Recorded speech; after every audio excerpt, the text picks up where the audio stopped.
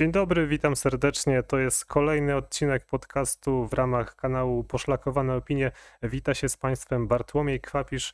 E, dzisiaj mamy nowy temat. E, mieliśmy zacząć o magii. Magia jest w pewien sposób nawiązaniem do religii. Mieliśmy trzy odcinki o religiach, e, a teraz pomyśleliśmy ze znajomymi, że porozmawiamy o magii.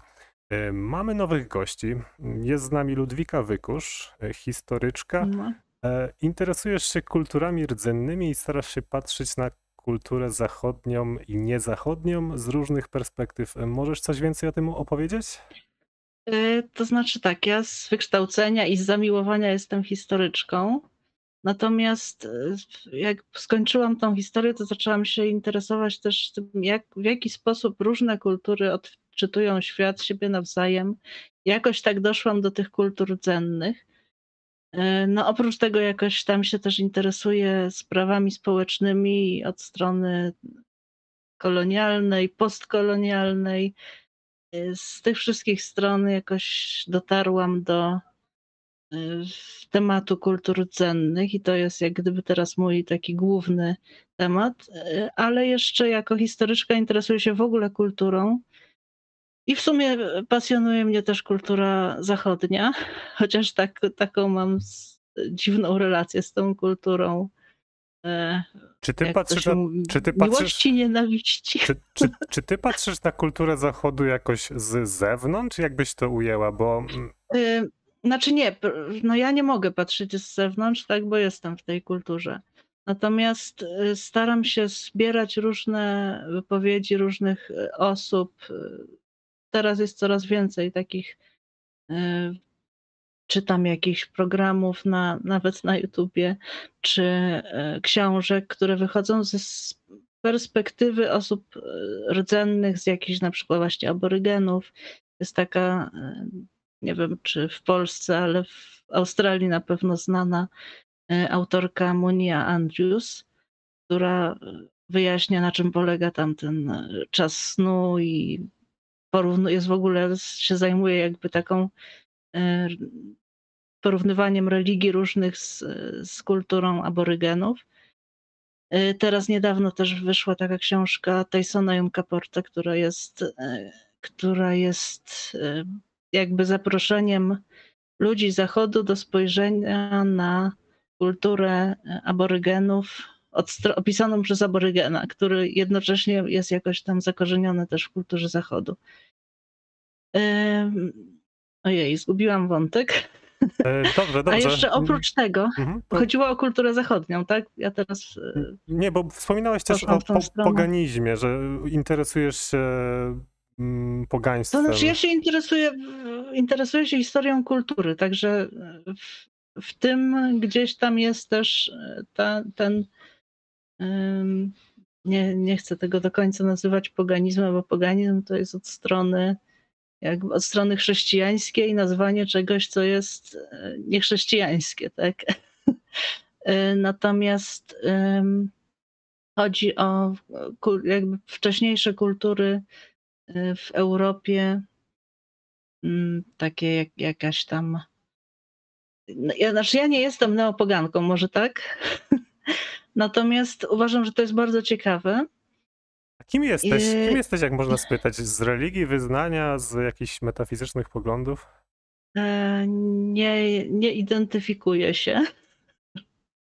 E, nazywam siebie agnostyczką, ale agnostycyzm to brzmi tak trochę jak taki, nie wiem, jakiś Dawkins mógłby się też nazywać agnostykiem, jakby chciał. E, natomiast ja zupełnie nie, nie w tą stronę, że fascynują mnie no mówię, fascynuje mnie spojrzenie na świat z, perspektyw, z różnych perspektyw, też z perspektywy różnych kosmologii. E, więc e, nie jestem materialistką, ale powiedzmy, że tak e, przyglądam się różnym i zastanawiam się, co mnie bardziej przekonuje. Jakoś tam mnie przekonuje trochę taki neoplatonizm, ale też nie, nie chciałabym się identyfikować w 100% z tym.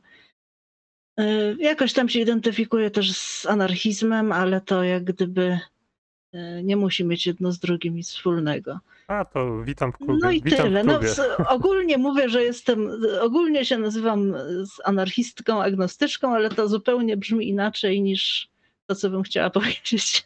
Dobrze, ja witam, Dlatego- witam w klubie AA, e, natomiast e, przejdziemy może do naszego drugiego gościa. A z nami jest Daniel Domaracki.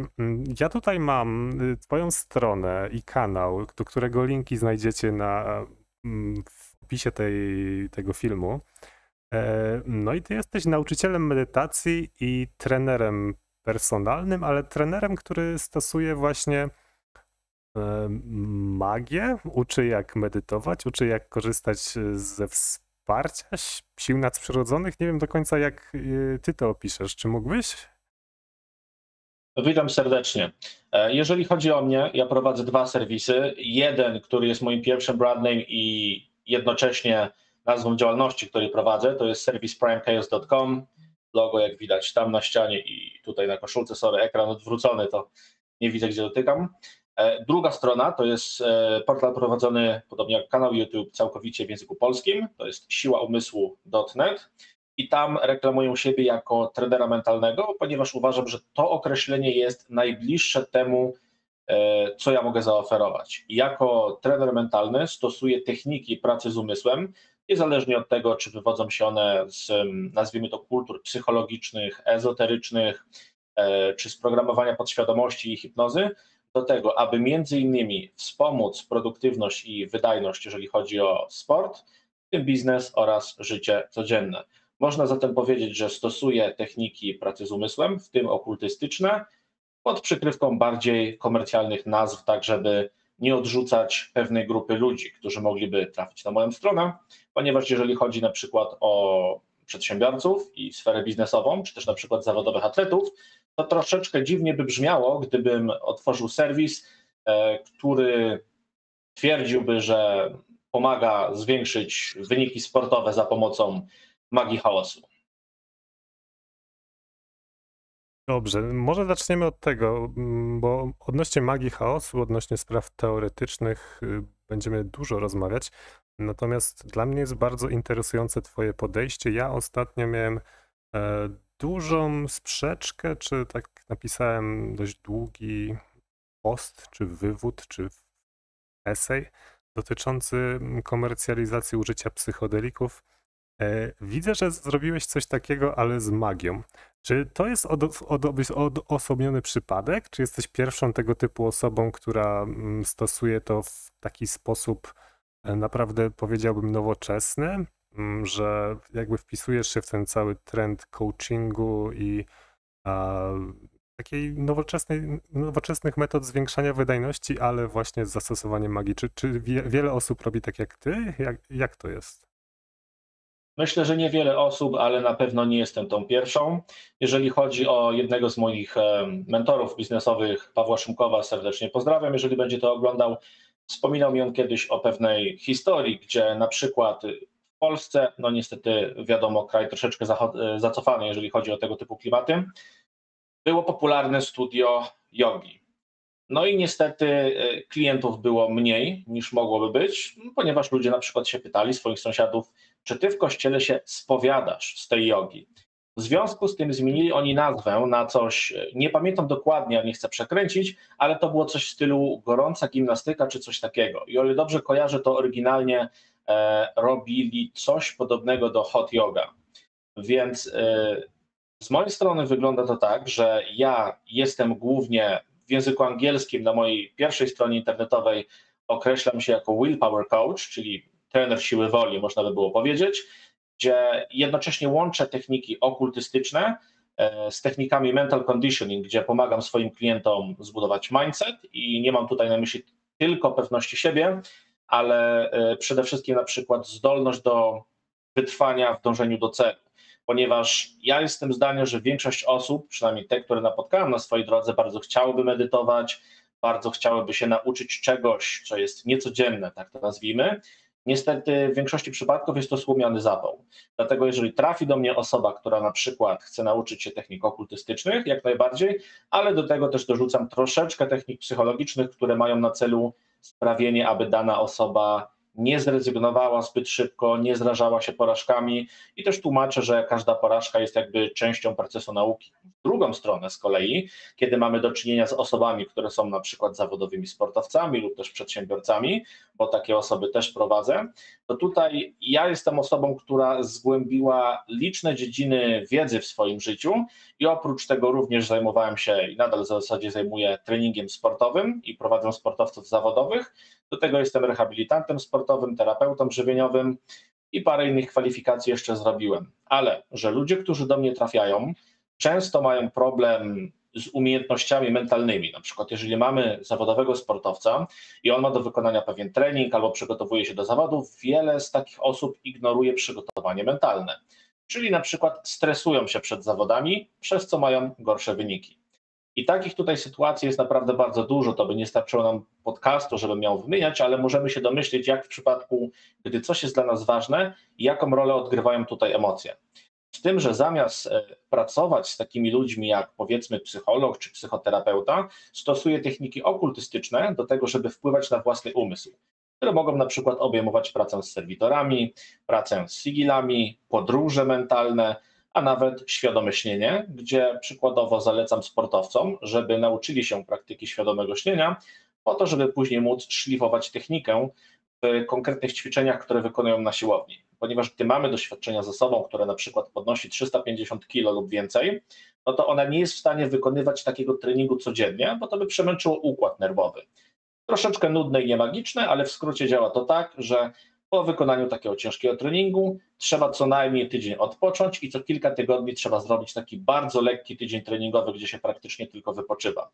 W związku z tym, że nasze ciało nie jest w stanie znieść takiego obciążenia, to te ćwiczenia można na przykład trenować mentalnie. Czyli możemy albo chodzić sobie na siłownię i robić to z bardzo małym ciężarem, co nie do końca odzwierciedla to, jak nasze ciało zachowa się, gdy pracujemy z dużym ciężarem, albo możemy na przykład wykorzystać podróże mentalne, świadome śnienie, czy przykładowo ktoś przy próbie podniesienia ciężaru maksymalnego zauważy, że rzuca mu biodrami na lewo i prawo i nie jest w stanie ich ustabilizować, to teraz pytanie, czy mięśnie stabilizujące są za słabe, bo czasami bywa tak, że ktoś trenuje te mięśnie stabilizujące i to nic nie daje, czy może ta osoba po prostu nie ma na tyle rozwiniętej świadomości ciała i nie czuje tego, co się dzieje, zdajmy na to jej biodrami. W tym wypadku techniki medytacyjne, takie jak dajmy na to medytacja body scan, pozwala nawiązać głębsze połączenie ze swoim ciałem. No i jakby nie patrzeć, można powiedzieć, że technikami magicznymi ktoś osiąga sukces w życiu Dobra, dobra. mi się, czekaj, bo teraz mi się przypomina coś, co bodajże Adam Golański wspomniał, że magia jest pewnego rodzaju pracą psychologiczną ze własną głową, która odbiega może od standardowej psychologii, ale to nadal nie jest coś, co mówiłoby o jakimś świecie nadnaturalnym czy jakichś ukrytych siłach, a byłoby bardziej po prostu pracą nad własnym nad własnym umysłem. Y, może zanim, zanim odpowiesz y, czy skomentujesz, y, ja bym chciał przejść już do naszego punktu pierwszego w naszej liście. E, tutaj jest właśnie definicja magii. Mm, Ludwiko, ty wspomniałaś o takim rysie historycznym, tym, że magia kiedyś była czymś mhm. innym, potem zmieniła się w coś innego. E, e Jakbyś mogła o tym opowiedzieć? Jakby to powiedzieć, no człowiek zawsze uprawia magię. E, w sensie takim, że rzeczywiście wpływa na swój umysł i wpływa jakoś na rzeczywistość, czy próbuje wpływać e, sposobami e, niekoniecznie fizycznymi. Natomiast w ogóle z charakterystyką istot ludzkich jest to, że, że zmieniają swoją rzeczywistość sposób nie tylko instynktowny, ale w, przy użyciu woli. Natomiast e, jeżeli chodzi o przemiany magii, mm, czy przemianę sposobu myślenia o magii, no to zależało od epoki, tak? bo w, w niektórych kulturach starożytnych magia była po prostu zakorzeniona, była częścią praktyki kulturowej, nie wiem, praktyki religijnej albo całego obrazu świata. Natomiast e, już w starożytnej Babilonii, a w Egipcie nie. Natomiast w Rzymie też, w Grecji poniekąd rozróżniano taką magię dobrą czy pożądaną od magii potępianej. Szczególnie oczywiście magia szkodząca, no to była karana czasami śmiercią i to na długo przed procesami czarownic w średniowiecznej czy w nowożytnej Europie. No i tutaj by trzeba było bardzo rozwinąć temat, bo Grecy na przykład rozdzielali na trzy takie główne jakby rodzaje magii. Magia teurgiczna, która była takim działaniem boskim właściwie, to znaczy człowiek, który działa tak jak bogowie. Magia, jak ona się tam nazywała, mam tu notatki nawet. W każdym razie taka magia e, zwyczajna, ludzka i magia, e, która była e, nie musisz. Wróż, wróżenie. E, Okej. Okay, e, nie, ja wiem, a, wiem, no nie muszę, ale... Augurowie, augurowie i tego typu rzeczy, tak? E... Ale to nie, to jest mhm. Rzym. To jest Rzym. To jest, okay. ponieważ jeszcze jest magia etruska, która była głównie zorientowana na wróżbiarstwo. Magia e, egipska była w dużej mierze, wszyscy wróżyli, bo wszyscy chcieli wiedzieć, jaka będzie przyszłość, ale skupiona też na lecznictwie oraz na przekształcaniu siebie. To jest z magii egipskiej i z późniejszej magii greckiej się wywodzi ta magia średniowieczna, nowożytna i właściwie już e, e, bardziej współczesna.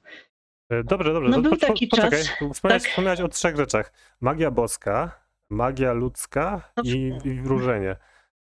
I nie, mhm. nie. I magia, y, magia taka udawana, to znaczy nie, nie sztuk mistrzostwo, tylko magia taka, ojej, jak to się nazywa? Sztuczki, takie jakby... No, że ktoś udaje, że szarlataneria, o. O, okej. Okay. Chodziło mi o to.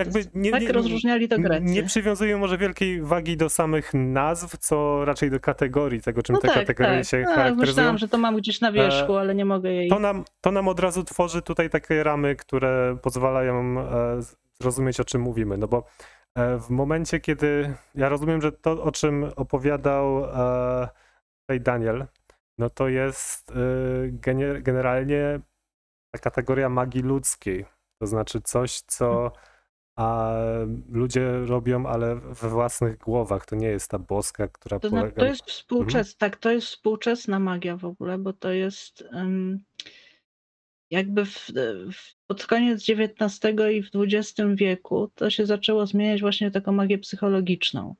A magia chaosu jest e, dość nowa, od lat 70., 80. XX wieku się rozwijała. Więc jest jeszcze, jeszcze e, trochę inne podejście do, do tego tematu. E, różnica główna była taka, że w, w średniowieczu postrzegano w ogóle wszystko jako mogą być jakieś, jakieś demony, jakieś e, zwierzęta magiczne i takie rzeczy. Y, w epoce nowożytnej to się zaczęło troszkę zmieniać w stronę takiej, bo jakby wróciła ta magia neoplatońska, która y, była bardziej nastawiona właśnie na poznanie jakichś tajemnic, tajnej wiedzy o tym, jak działa świat. Y, rozwinęła się angelologia i tutaj o Johnie Dee to będę potem mówić. E, natomiast współczesna magia to niekoniecznie. Znaczy, wiem, że różni ludzie różnie, różne rzeczy praktykują, co im tam odpowiada. Natomiast rzeczywiście magia chaosu jest taka e, najnowsza, czy jedno z najnowszych, jednym z najnowszych podejść do magii. E, sekundę, skoro jesteśmy przy magii chaosu, to Danielu czuł się wywołany. Chciałem zapytać, no bo masz tam w tle, jest głowa kozła tudzież innego zwierzęcia, czaszka. E, to mi się bardzo kojarzy z rzeczami typu satanizm, diabolizm, e, okultyzm, magia, przywoływanie w pentagramie mm, demonów i tego typu rzeczy. A ty mówisz jednocześnie, że mamy do czynienia z bardziej sytuacją, kiedy pracujemy psychologicznie nad własnym podejściem. E, I jakbyś to skomentował? Czym jest w ogóle magia chaosu, żebyśmy przybliżyli naszym słuchaczom i widzom? To może po kolei. Jeżeli chodzi o logo mojej firmy, które mam na ścianie na koszulkach, to jest generalnie głowa kozła, która ma symbolizować Bafometa. Bafomet z kolei ma bardzo wiele znaczeń, ale w dużym skrócie, jeżeli odpalimy sobie anglojęzyczną Wikipedię, to można tam zauważyć e, kozę z penisem oraz z damskim biustem. To można porównać na przykład do yin oraz yang, czyli zjednoczenie dwóch przeciwstawnych pierwiastków. Z kolei sama magia chaosu i teoria chaosu, która jest tam popularnie przez wielu magów wykorzystywana, bo nie każdy chaota ma takie same poglądy, w dużym skrócie można ją porównać do teorii wielkiego wybuchu, czyli jest sobie nieuformowany chaos, który rozprasza się na wszystkie strony i dalej się tworzą różne losowe koncepcje z tego.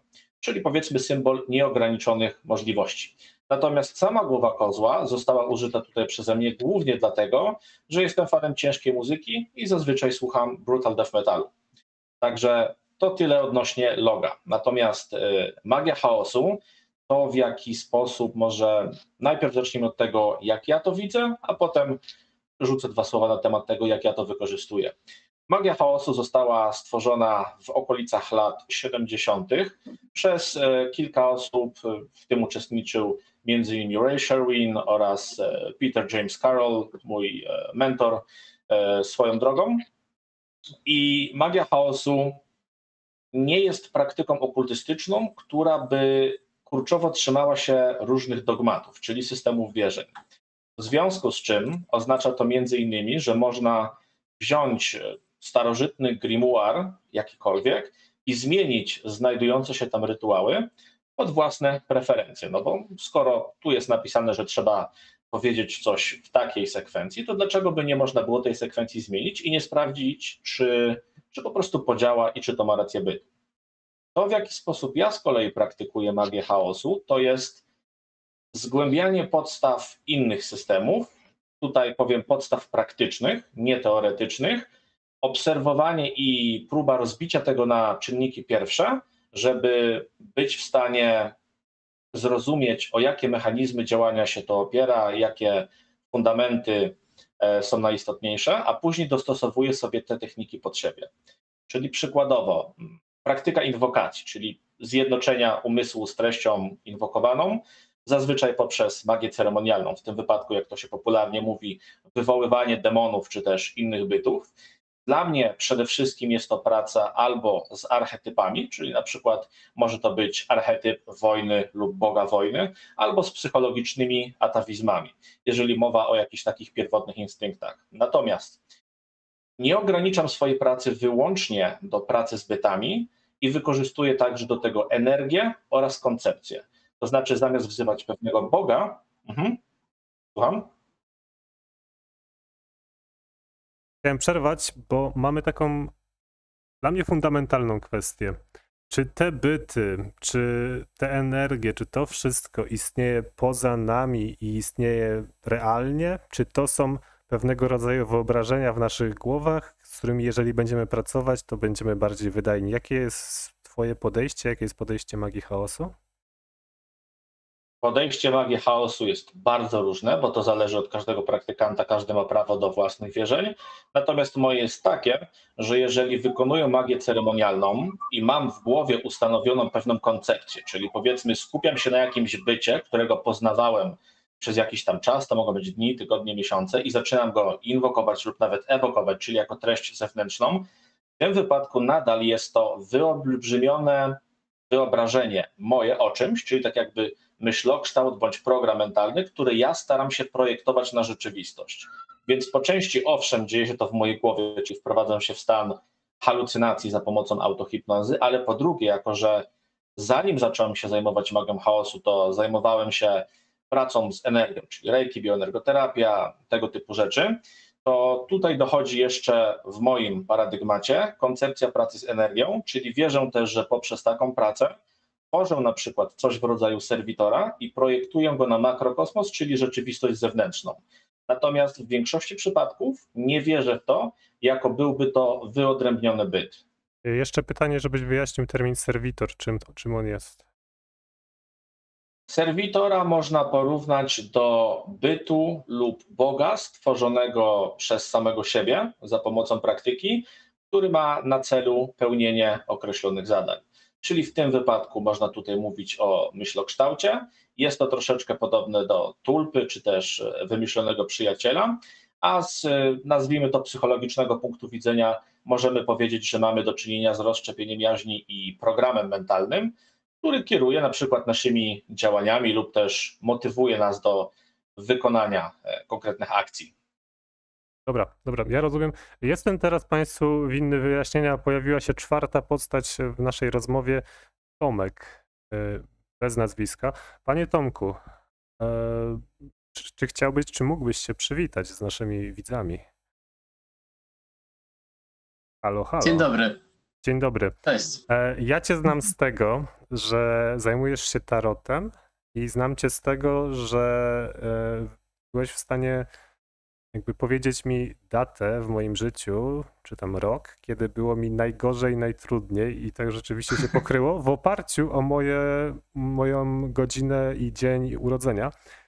Był to rok 2017, mniejsza z tym, ale zrobiło to na mnie bardzo duże wrażenie i zacząłem wtedy myśleć, o, coś jest na rzeczy, to, to działa, to rzeczywiście działa. E, kiedy y, przejdziemy jeszcze do motywów, kiedy to rzeczywiście działa, bo ja, ja, rozumiem, że zarówno Daniel, jak i Tomek, wy to robicie, no bo uważacie, że to działa.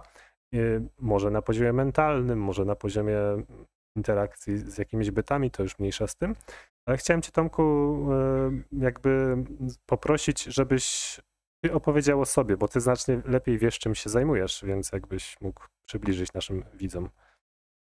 Szczerze mówiąc, będzie mi ciężko. Nie wiem w zasadzie od czego zacząć i e, to, że nie było mi od początku rozmowy, trochę mnie wytrąca. Dobrze, nie wiem, ja, szybkie pytanie. My... Szybkie pytanie. Czym jest tarot? Będzie najprościej tak rozpęd wziąć z tego miejsca. Czym jest tarot? Ciężko powiedzieć tak naprawdę, czym jest tarot. Czym jest tarot dla ludzi współcześnie, czym jest tarot kulturowo. E, generalnie bardziej e, adekwatnym pytaniem moim zdaniem było skąd się wziął tarot. E, skąd się wziął tarot? I, prawdopodobnie tarot pojawił się gdzieś około XV wieku w, we Włoszech.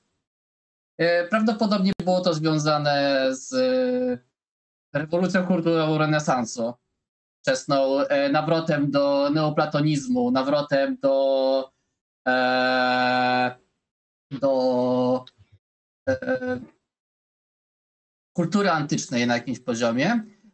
Sam, sama talia kart prawdopodobnie się wzięła się z jakiegoś mm, jakiegoś kraju e, z północnej Afryki, ale w tym momencie nie pamiętam, jak się nazywa, więc ciężko nie Z Egiptu mamy luków podobno. E, tak, podobno z Mameluków. Tak, są takie karty talie mhm. Mameluków e, i prawdopodobnie e, one trafiły w jakimś momencie do Europy i zaczęto produkować tak zwane tarotci, e, które, które później przekształciły się w tarota. Generalnie tarot ewoluował przez wiele wieków. E, E, tak naprawdę nie był do końca nie było do końca ustalone, co to jest. E, I też trzeba wziąć pod uwagę, że współczesny tarot jest troszeczkę inny niż to, co pojawiało się wtedy, e, ponieważ współcześnie raczej korzysta się z tarota, który jest jakby dziedzictwem e, nauk z zakonu Złotego Brzasku, który, który się pojawił na początku, na przełomie XIX i XX wieku. E, dobrze, ja chciałem zauważyć, że brałem udział kiedyś w rozmowie z kolegą, który ni stąd, ni zowąd zaczął mi opowiadać o Egipcie i o tym, że tam do teraz e, istnieją jakieś tradycje okultystyczne bardzo tajemne i czy wy macie jakieś pojęcie o tym, że Egipt jest jakimś centrum ezoterycznym, gdzie cały czas się dzieją różne ciekawe rzeczy. Jak to w ogóle jest? Przepraszam, że tak zbaczam z tego tarota, ale e, zaintrygowało mnie to. Jaki jest podział światowy, krajowy, jeśli chodzi o w ogóle różne tradycje magiczne? No bo rozmawialiśmy w poprzednim odcinku tym o religiach, o religiach darmicznych i jakby chyba mamy to nieźle pokryte. Natomiast ja się zastanawiam, gdzie są te tradycje w takich y, miejscach bardziej no tam, gdzie są religie abrahamowe, które dość mocno monopolizowały, w, w zasadzie wycięły w pień wszelką magię, tak jakby zawsze jest to apage satanus i generalnie... No ale też no. spopularyzowały. E, ale też tak, spopularyzowały. Okej. Okay. Prawda, w pewnym sensie e, odpowiedziałeś sam na swoje pytanie. E, przeszły w underground. Po prostu było coś, co nie było dostępne publicznie, o czym się nie mówiło. E, przy czym, czy ten... Generalnie te tradycje... To... Czy ten underground nie był jakoś umieszczony też w, w, elitach samych tych kościołów i generalnie w jakichś tajnych Między stowarzyszeniach masońskich, tego typu rzeczach? Znowu, e, znowu e, mamy tutaj przestrzeń 2000 lat. Przez 2000 lat bardzo dużo rzeczy się działo. Ciężko powiedzieć, e, kiedy, e, o którym momencie mówimy, bo to naprawdę będzie zależało od, od, od określonego E, okresu. E, jeśli, jeśli pytasz o, o Egipt, to generalnie e, zgodnie z tradycją, w cudzysłowie, mówi się o tym, że nauki przywędrowały z Egiptu. Generalnie Egipt był bardzo mocno, religia Egiptu była bardzo mocno ezoteryczna. Czy to jest w ogóle, ja przepraszam, czy to jest religia Egiptu jeszcze z czasów, kiedy budowano piramidy, był ten bogowie z tak. głowami zwierząt i tak dalej, to dalej jest ta tradycja tak. gdzieś tam zachowana w tym undergroundzie? Mm, w pewnym sensie odwoł underground odwołuje się do niej. Czy ona tam jest? Ciężko mi powiedzieć. Kurczę, nie? To próbuje ją, e, w pewnym sensie próbują ją rekonstruować na jakimś poziomie.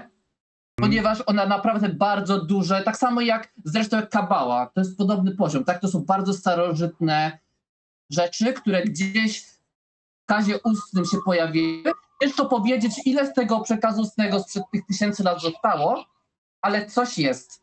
E, mnie to naprawdę rozwala, bo ja pamiętam, jak przy psychodelikach, tej takiej fazie fascynacji zacząłem się dowiadywać, że były jakieś misteria apolińskie, że tam być może też były, czy tam dionizyjskie, że też były spożywane te psychodeliki, że, cały, że cały ten underground gdzieś się dalej toczył, że on przetrwał przez e, średniowiecze, renesans i tak dalej. A to jest bardzo interesujące. Natomiast ja chciałem zapytać, czy wy widzicie jakiś podział e, krajowy, światowy, jak to jest? Jak mamy. Przepraszam, że ja w ogóle takie bardzo trywialne nawiązania i skojarzenia mam, ale e, nie wiem, jak mamy lore Harry'ego Pottera, to tam jest e, dużo, dużo, dużo rozkmin typu co się dzieje w świecie czarodziejów poza Wielką Brytanią. I ja chciałem zapytać, no bo mamy tutaj Daniela w Wielkiej Brytanii i ty opowiadasz o tym, że masz swojego mentora Mentor jest jednym z założycieli magii chaosu, więc z takich y, głównych osób biorących udział w powstaniu tego nurtu. No i to jest fascynujące, więc mamy ten brytyjski ośrodek, ale jakie są też inne ośrodki magii? Co, co się dzieje? Jakby, bo mam wrażenie, że poruszamy taki temat undergroundowego świata, który dla mnie był dostępny najwyżej po, poprzez jakieś dziwne grupki na Facebooku, ale podejrzewam, że te tradycje musiały być przekazywane jakby ustnie, bez mediów społecznościowych, więc jakby mamy zupełnie jeden nurt, który jest taki bardziej, mm, że tak powiem, taki pop, taki pop e, ezoteryka i nurt, który jest gdzieś tam głęboko, który e, kultywuje naprawdę tradycje mm, pradawne i podejrzewam, że żeby tych tradycji pradawnych za bardzo nie wykoślawiać, musiałby e, naprawdę przykładać dużą wagę do, do tych treści, no bo ja, będąc naprawdę profanem, osobą, która e, jest taka niedbała, jeżeli ja bym się, jeżeli, nawet to jak ja medytuję, to jest e, od wielkiego dzwonu i to jest na zasadzie takiej, że gdybym ja dostał te treści ezoteryczne i miał je przekazać dalej, to przy mojej niedbałości one by uległy znacznemu zniekształceniu. E, czy te mm, nurty, czy one są bardzo rygorystyczne? Czy mamy na przykład jakieś coś w rodzaju zakonów, czy ludzi, którzy, nie wiem, jak mistrzowie Jedi przekazują sobie, czy tam Sithowie przekazują kolejną wiedzę z pokolenia na pokolenie. Jak to w ogóle działa? Bo ktoś musiał tą wiedzę przechowywać. No, a raczej nie sądzę, żeby takie mainstreamowe instytucje specjalnie się nimi przejmowały. No nie wiem, chyba, że jakieś ukryte komórki w Watykanie czy coś. Ja bym chciał spytać najpierw Daniela, bo mm, bardzo mnie interesuje to, bo ty masz jakby kontakt bezpośredni z osobami, które e, tworzyły tą magię chaosu, czy są w jakimś takim centrum tego ruchu. Jak ty to widzisz, e, tak, że tak powiem, geograficznie? Istnieją różne zakony. Jednym z polskich był już nieistniejący e, zakon, na przykład Droga Fali. To był właśnie jeden z takich polskich zakonów, można powiedzieć, osób, które faktycznie miały pojęcie o różnych systemach magicznych, wiedziały, co robią i robiły to dobrze, który istniał w Polsce. Mamy chociażby e, Illuminatów Thanaterosa, czyli Illuminates of Thanateros, który został współzałożony przez m.in. Petera Carola. E, było Argentum Astrum, parę innych i tak w dużym skrócie każdy może założyć sobie zakon magiczny. Nie ma żadnej magicznej policji, która przyjdzie i wystawi mandat. Pytanie, czy w dzisiejszych czasach jest to opłacalne, ponieważ niegdyś było to raczej na zasadzie tajemniczego stowarzyszenia, które było ciężko dostępne, nie było internetu, nie było telefonów.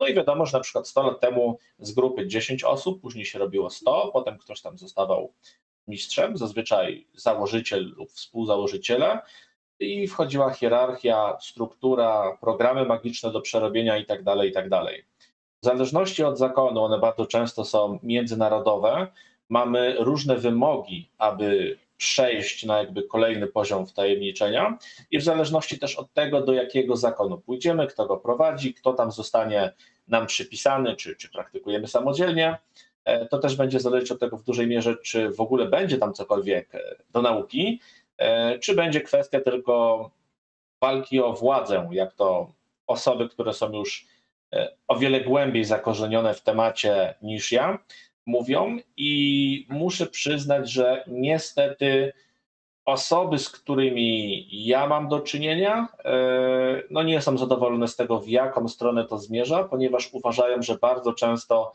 jest to na zasadzie, że wychodzi sobie ktoś naprzód, kto ma takie zapędy do bycia liderem i chce po prostu być panem organizacji, e, co niekoniecznie wpływa dobrze na zgłębianie wiedzy. Natomiast jeżeli chodzi o takie mini zakony, które były tworzone, nawet w Polsce ich było kilka e, i na całym świecie do tej pory są tworzone, to tutaj ja bym powiedział, że moim zdaniem najlepiej jest e, nawiązać współpracę z ludźmi, którzy mają podobne zainteresowania i dobrać się w grupę osób, która zgłębia pewne paradygmaty magiczne, i bardzo często jest tak, że gdy mamy do czynienia powiedzmy chociażby z pięcioma czy dziesięcioma osobami i każda z nich zgłębia inną dziedzinę, to wtedy można się tę wiedzą wymieniać na zasadzie praktycznej.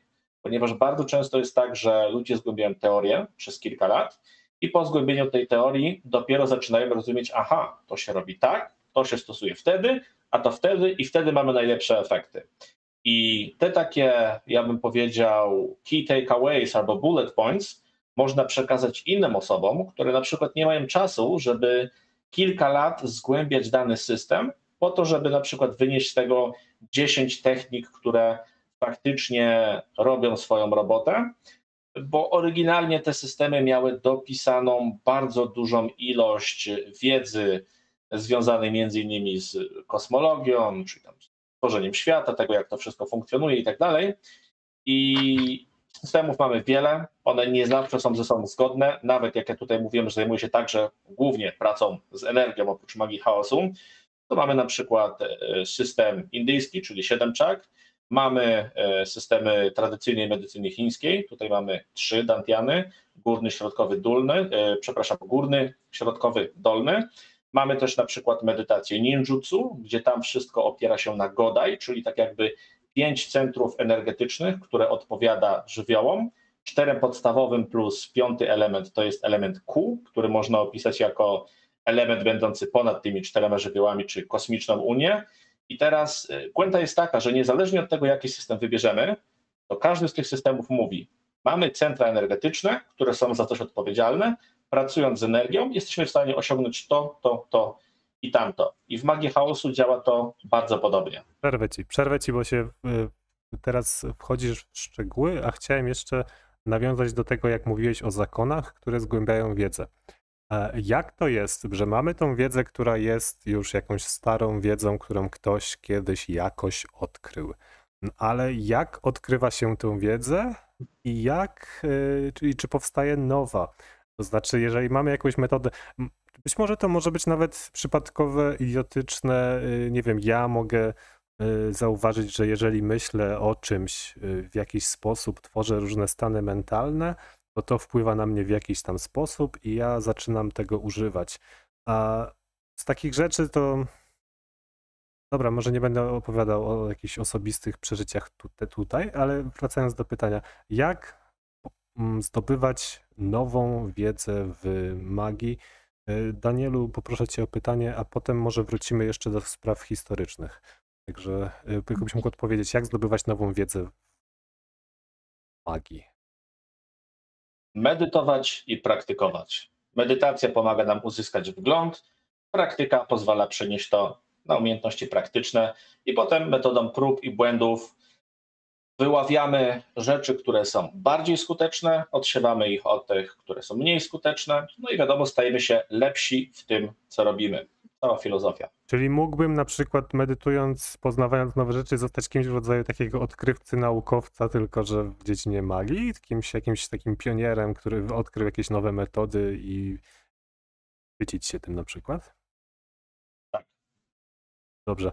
E, dobrze, ja chciałem, ja chciałem wrócić do wątków historycznych, bo mm, tutaj e, Tomek dość ciekawie opowiadał o tym, jak mieliśmy tarota, wątki związane z renesansem, z neoplatonizmem. Natomiast pamiętam, Ludwika wspomniała o tym, że e, ten neoplatonizm tak naprawdę to nie renesans, a bardziej oświecenie, jeśli dobrze kojarzę. Nie, nie, nie. E, znaczy neoplatonizm wywodzi się z późnej starożytności, od Plotyna. E, tak, a ja mówię jego jakby tak? nawiązanie, znaczy przywrócenie go w naszej zachodniej No nie, kulturze. neoplatonizm został w renesansie przywrócony. To znaczy greccy imigranci przywieźli go z Grecji po upadku Konstantynopola, z tym, że pierwszym, który był, będziemy mówić o Ficino chyba, e, który był mistrzem Ficino, e, to był Grek, e, który się nazywał. Nie pamiętam, jak się nazywał. A już wiem. No. Gemistos Pleton, bo chodzi o to, że on miał przekręconą, przekręcony ten pseudonim pod Platona, że był renesansowym Platonem.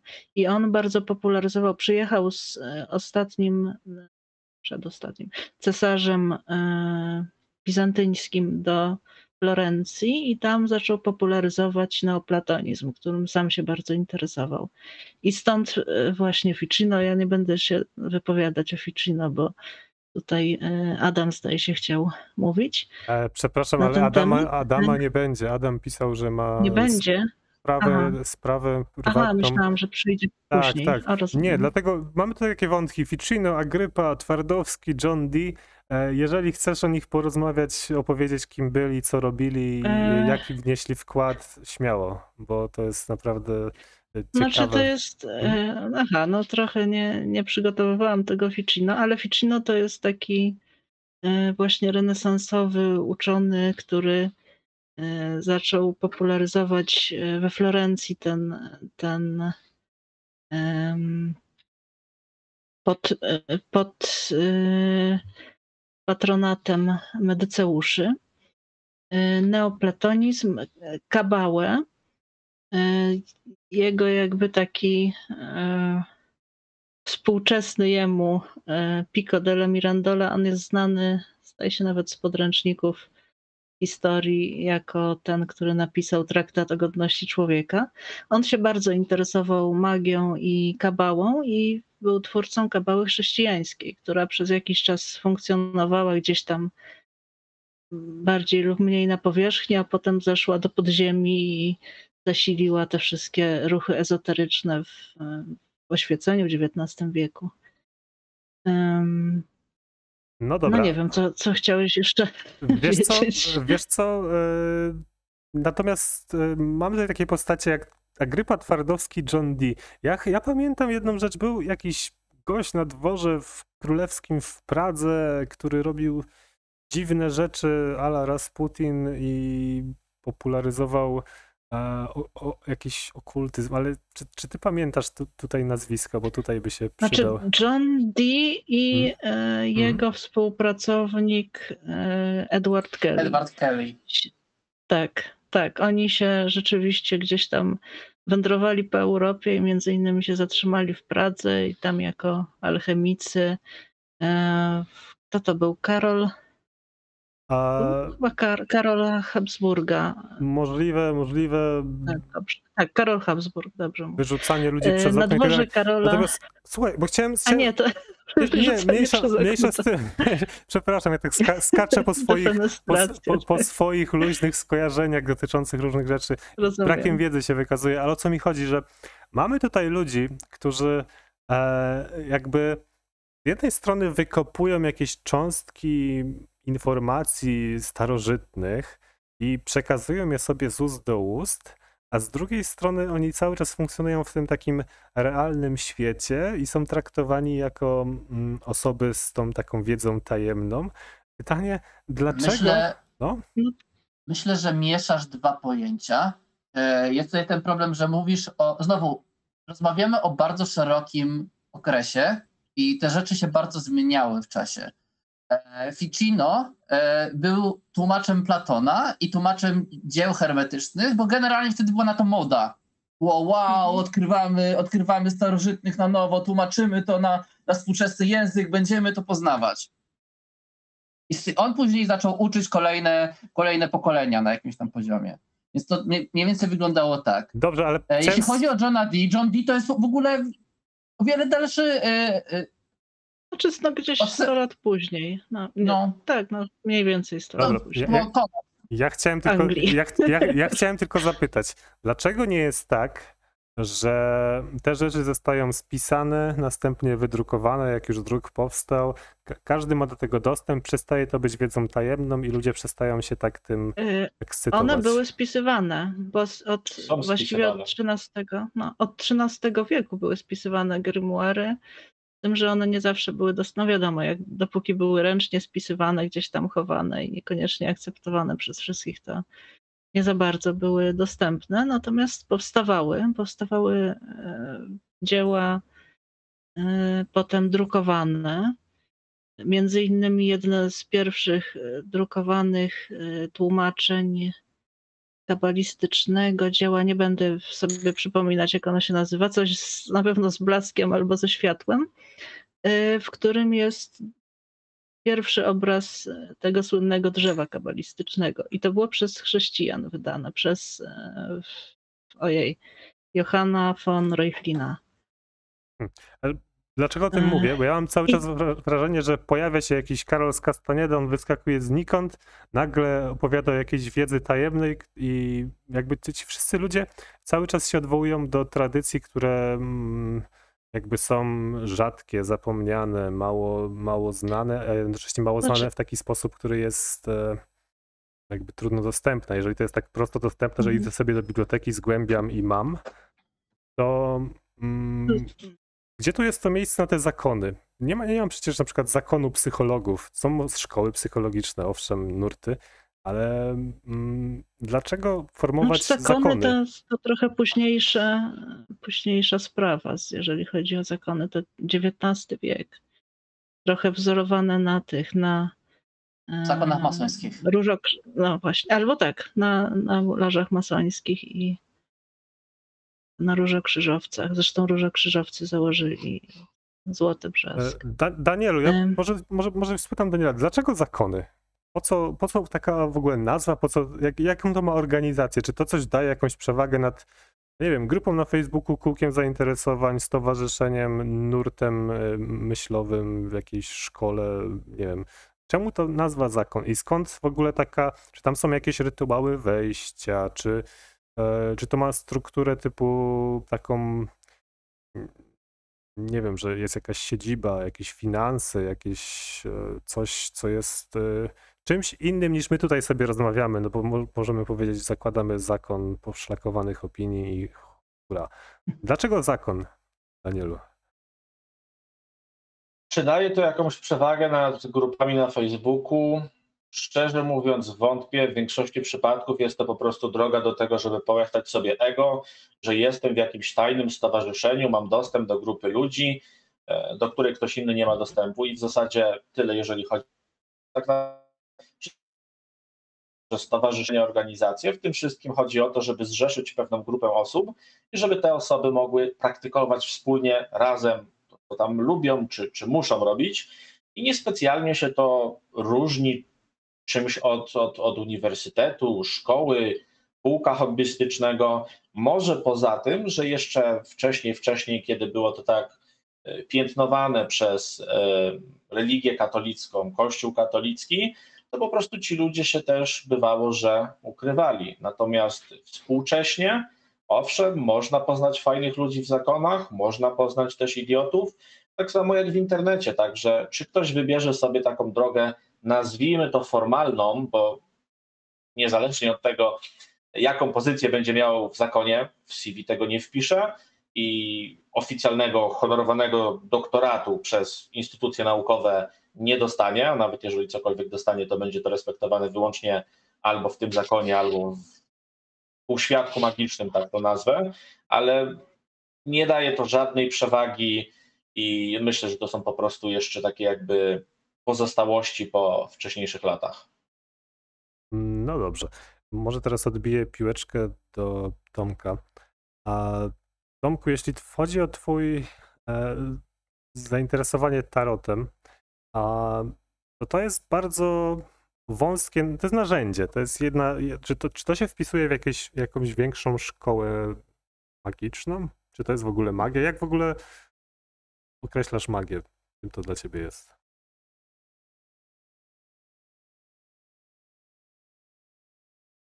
To bardzo trudne pytanie.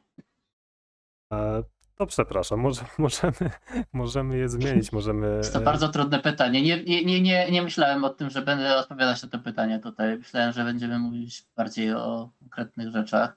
E... E... Nie, dobra, ale w jaką szkołę wpisuje się tarot? No bo wspomniałeś o tym, że ma jakieś korzenie e, być może egipskie, jest naprawdę starą rzeczą, przy czym czy to jest część e, szerszego nurtu? Jak to jest uzasadniane? Dlaczego to działa? E, jeśli mówimy o tak zwanym tarocie ezoterycznym, to znowu możemy wyróżnić w tym momencie powiedzmy dwa nurty, kontynentalny i wyspiarski na pewnym poziomie. E, to znaczy była szkoła francuska i szkoła angielska. Szkoła francuska się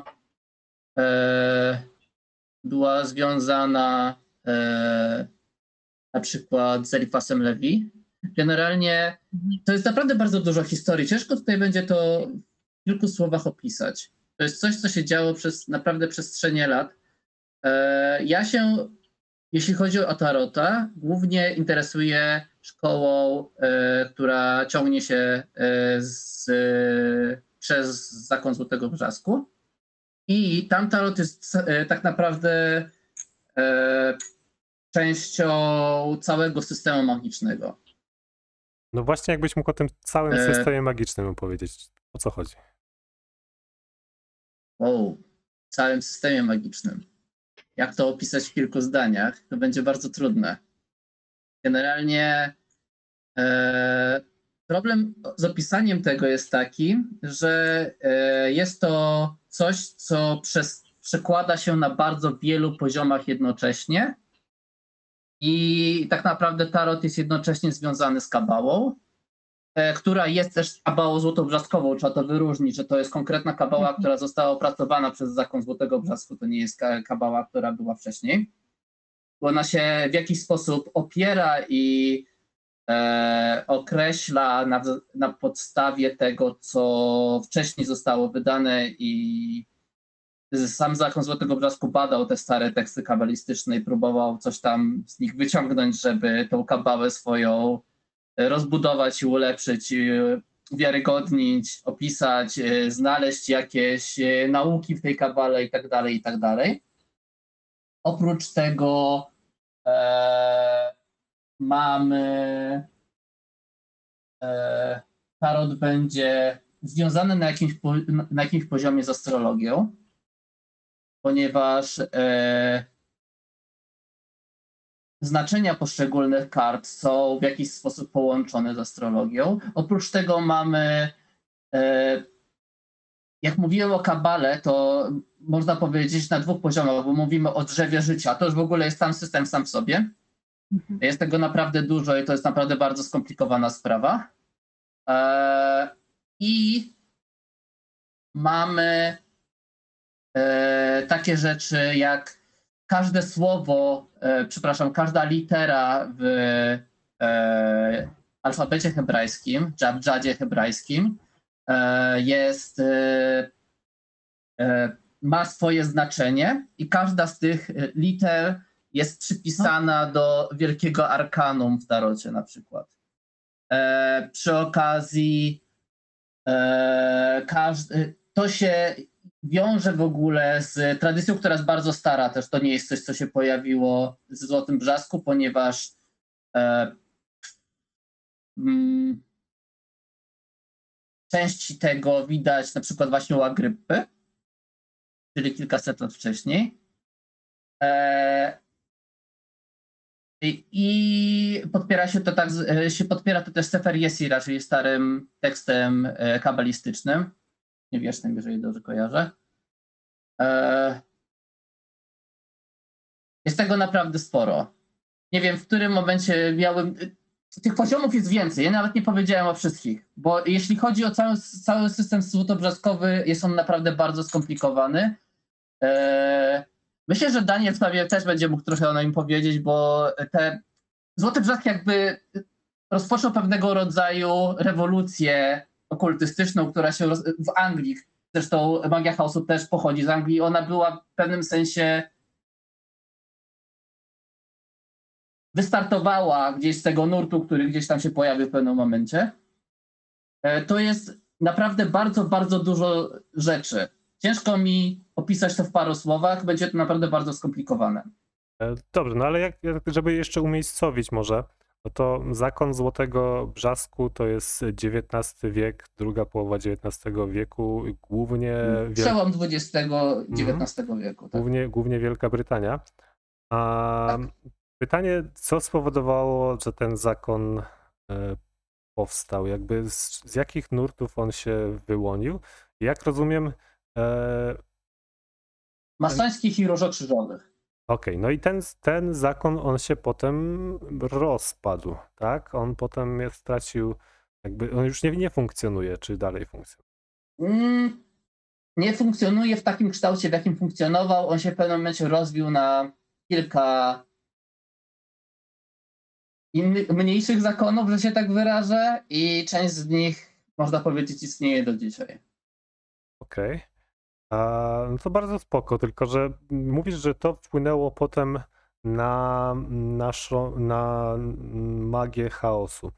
E, no i chciałem tutaj nawiązać do a, Daniela specjalizacji. Czy to jest tak, że ta magia chaosu jakby przejęła pewne wątki z innych e, nurtów, jak ty opowiadałeś o e, czakrach, o medycynie tybetańskiej. Czy to, o czym ty mówiłeś, to jest wszystko magia chaosu, czy magia chaosu się zawiera w pewnego rodzaju konkretnym, konkretnych nauczaniach, a to, o czym opowiadałeś, jest, to już jest twój osobisty taki synkretyzm i, i łączenie różnych wątków, co nie jest przez nikogo zakazane, bo nie ma tej e, tam policji zakonnej, jak dowcipnie wspomniałeś. Jak, jak to jest w ogóle, Danielu, jeśli chodzi o takie. Mm,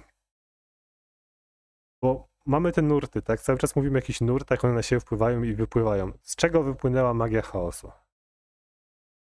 Moim zdaniem. Magia chaosu wypłynęła głównie z tego, że zebrała się grupa ludzi, która stwierdziła, mamy dość grimoirów, narzucanie nam z góry konkretnego podejścia, systemów i tak dalej zebrali to, co wiedzieli do kupy i zaczęli to kategoryzować na różnego rodzaju praktyki.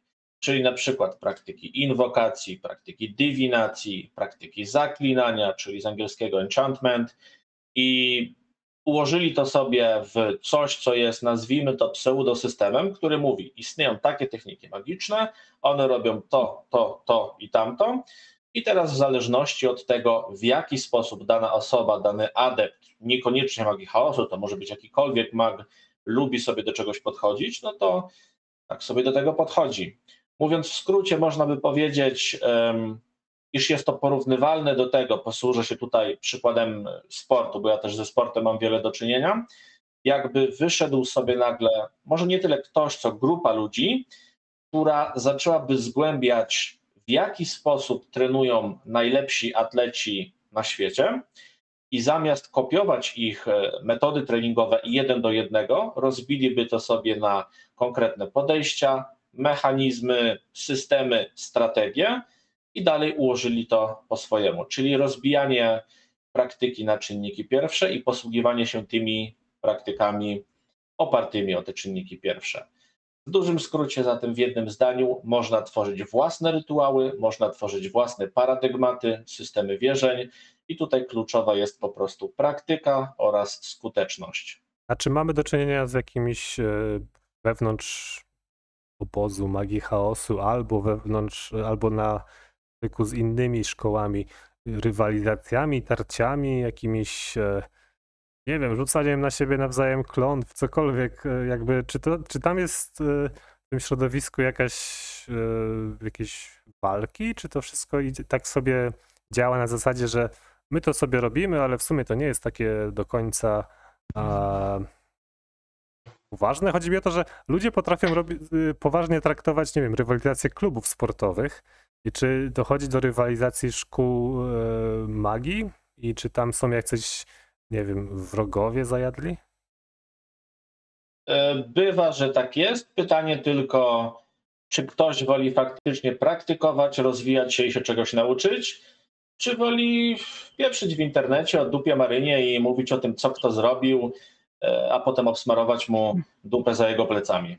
E, nie no, ja, ja jak najbardziej rozumiem, że jakby te wątki towarzyskie są też istotne, ale bardziej mnie interesuje, czy są wątki związane z wiedzą czy z magią, które są dla siebie, mm, stoją w kontrze. To znaczy nie to, że ktoś się na kogoś obraził i coś tam, coś tam, tylko to, że mamy pewną szkołę, i ta druga szkoła się nie zgadza z tą drugą szkołą, tak jak mieliśmy, nie wiem, a ortodoksję mm, i katolicyzm i one się kłóciły o bodajże świętość Maryi, ale chodzi mi o to, czy tego typu wątki tam występują. Takie spory w czasami, doktrynie. E, hmm? Czasami bywa, że występują, ale tak jak wspomniałem, pytanie, czy ktoś woli się zająć swoją pracą, która jest konstruktywna, czy spieraniem się z drugą osobą o to, co jest prawdą objawioną, czego i tak nie da się zweryfikować w sposób do końca obiektywny i naukowy. Hmm. Ja, ja tak w ogóle z naszej rozmowy odnoszę takie wrażenie, jakby istniał ten ukryty nurt e, życia społecznego, który jest zupełnie albo prawie zupełnie niepodjęty przez e, mainstreamową kulturę poza takimi rzeczami, o których ja, do których ja się odwołuję, e, pewnie bardzo patrząc na te sprawy, e, będąc ukształtowanym przez tą kulturę, patrzę na te sprawy w sposób taki strywializowany, typu, nie wiem, czary, magia i pentagramy mi się kojarzą z folklorem bardzo albo z czymś z bajek dla dzieci. I jakby nasza kultura taka dominująca bardzo odrzuciła mm, tego typu tradycje. One są, jeżeli ktoś piastujący jakieś poważne stanowisko wypowie się, że po, na poważnie, że e, zajmuje się tego typu rzeczami, to ma dwie opcje, a z jednej strony poruszy panów teorii spiskowych, a z drugiej strony e, zostanie uznany za kogoś niepoważnego. A, no i dla mnie jest dość niesamowite to, co ty, Daniel, robisz, że E, poruszasz te tematy w sposób i, i pracujesz z klientami w sposób bardzo na serio. To są jakby nadajesz tej dziedzinie pewnego rodzaju godność, którą wydaje mi się, że w kulturze takiej dominującej e, nie była traktowana poważnie. E, natomiast zastanawiam się jeszcze, czy, ten, czy te wątki będziemy kontynuować, czy nie przejść do kolejnych punktów, jak tutaj mamy, ale już bardzo konkretnych, a takich wątków jak e, candomblé, hudu i tego typu rzeczy. Mamy jeszcze wątek feminizmu i magii w feminizmie. Mhm. Ludwiko, może, może, może ciebie tutaj wywołam. Czy mhm. Mm, jeżeli mamy magię i czarownicę, czy, czy w ogóle to polowanie na czarownicę, czy to miało rzeczywiście związek z ruchem e, ezoterycznym i okultystycznym? Znaczy, czy istniały jakieś e, zakony kobiece, czy jakby coś, co było bardziej tak związane właśnie z kobietami i to, te rzeczywiście istniejące zjawisko wywołało reakcję ludzi, reakcję kościoła, inkwizycję, polowanie na czarownicę? Czy, czy, czy tam nie... Znaczy nie, tak to, hmm? y, między innymi tak to przedstawiano, że to była jakaś podziemna religia pogańska, która przetrwała w czasie, y, w czasach chrześcijańskich. Oczywiście wie, różna wiedza i różne praktyki tak zwane pogańskie przetrwały, natomiast to nie była jakaś zorganizowana grupa podziemna. No prześladowania nie wiem, moż, można tak to ocenić, że jak się skończyły prześladowania heretyków, to się zaczęły prześladowania czarownic. Rzeczywiście głównie e, były prześladowane kobiety, chociaż czasami dostawało się też mężczyznom. E, zaczarowanie, czarowanie raczej takie właśnie ludowo, tak zwane czarnoksięstwo, czyli hmm, jak, to byśmy musieli jeszcze wrócić do definicji. E, no mamy, e, mamy... Ta wyższa magia była jakby traktowana bardziej z takim z taką akceptacją, tak? Znaczy nie zawsze się chciało gadać z tym e, jakimś tam, nie wiem, Faustem czy z kimś, który był zresztą prawdziwą postacią historyczną, ale nie, nie paliło się go na stosie. Natomiast prześladowano raczej taką magię ludową, y, która była postrzegana jako jakieś konszachty z diabłem po prostu. Mm. Ja, ja, chciałem, ja chciałem do tego e. nawiązać, mogę wtrącić, bo ja w tej chwili mieszkam, mhm. mieszkam sobie w Wietnamie i też podróżowałem trochę do, do Indonezji i generalnie w tych regionach jest coś takiego, mhm. że tu dalej istnieją ludowe e, obyczaje, zabobony, czary, Mhm. Ludzie bardzo też synkretycznie wierzą z jednej strony w te dominujące religie, ale łączą je trochę jak w Ameryce Południowej. O co mi chodzi, że mhm. kiedyś jeszcze w Polsce, nie wiem czy teraz gdziekolwiek, ale istniały szeptuchy, istniały osoby, które. E, no, że teraz już właśnie raczej w takim ruchu feministycznym. Nie wiem, czy to można podciągnąć, to jest trochę neopogaństwa, trochę feminizmu, ale raczej to już są odtwarzane ruchy. Natomiast rzeczywiście jeszcze do niedawna, no sporo lat temu słyszałam taki program etnograficzny, który w zasadzie mówił o muzyce, ale y, badacze rozmawiali z osobami, które nigdy się nie przyznawały do tego, że coś robiły same, ale zawsze, ale moja babcia to wiedziała, jak to tam robić. Więc to gdzieś tam w tej tradycji y, ludowej istniało i raczej się mówiło, że to babcia umiała, nawet jeżeli ta druga osoba też to robiła, ta wnuczka powiedzmy, ale się do tego nie przyznawała. A, mi się Natomiast... kojarzy z Jakubem Wędrowiczem. A chciałem cię zapytać, jak to jest, że ten, te czary takie ludowe są bardzo kojarzone z kobietami? Dlaczego, dlaczego w takim Wiedźminie mamy kobiety czarodziejki? Dlaczego kobiety mają większą energię jakąś magiczną niż, niż mężczyźni? Czy to jest Nie z... wiem, czy ja no? potrafię odpowiedzieć, że to jest raczej pytanie takie z dziedziny literatury chyba no zależy, tak, bo inna magia jest e, przypisana kobietom, inna mężczyznom, ale to mm, wszystko są raczej Dlaczego, czy różne na, pomysły czy, literackie. Czy na stosach, ale, ale, na stosach chyba bardziej palno no tak, na, niż czarowników. Na stosach ginęły kobiety, tak. Dlaczego? Dlaczego? No różne są teorie na ten temat. Być może chodziło o to, że one oddolnie robiły coś, co zaczynało być coraz bardziej postrzegane jako niebezpieczne, e, w sensie takim, że były niezależne. E, nie, nie chodzi tu do końca o taką, po prostu jestem kobietą niezależną, tak? Tylko chodzi o to, że ona coś tam robi, nie wiadomo co ona robi, może jakieś klątwy rzuca. E, trzeba się tym zająć. Nie wiem, czy to znaczy to, co ja chciałam powiedzieć o feminizmie, to raczej właśnie o tym, jak feministki tworzyły pewien, znaczy wplotły w swoją mitologię, i to jest dość charakterystyczne nie tylko w, w tym ruchu, to znaczy tradycje magiczne, to też miałam wcześniej wtrącić, nie, od, nie, nie zajmują się odtwarzaniem w jakiś tam, w co wierzyli w Egipcjanie i my teraz też będziemy tak wierzyć. Czasami ruchy neopogańskie próbują coś takiego robić. Natomiast e, raczej się tworzy taką mitologię na podstawie tego, co, e, co gdzieś tam się właśnie kojarzy z Egiptem. To nawiązuje do autentycznych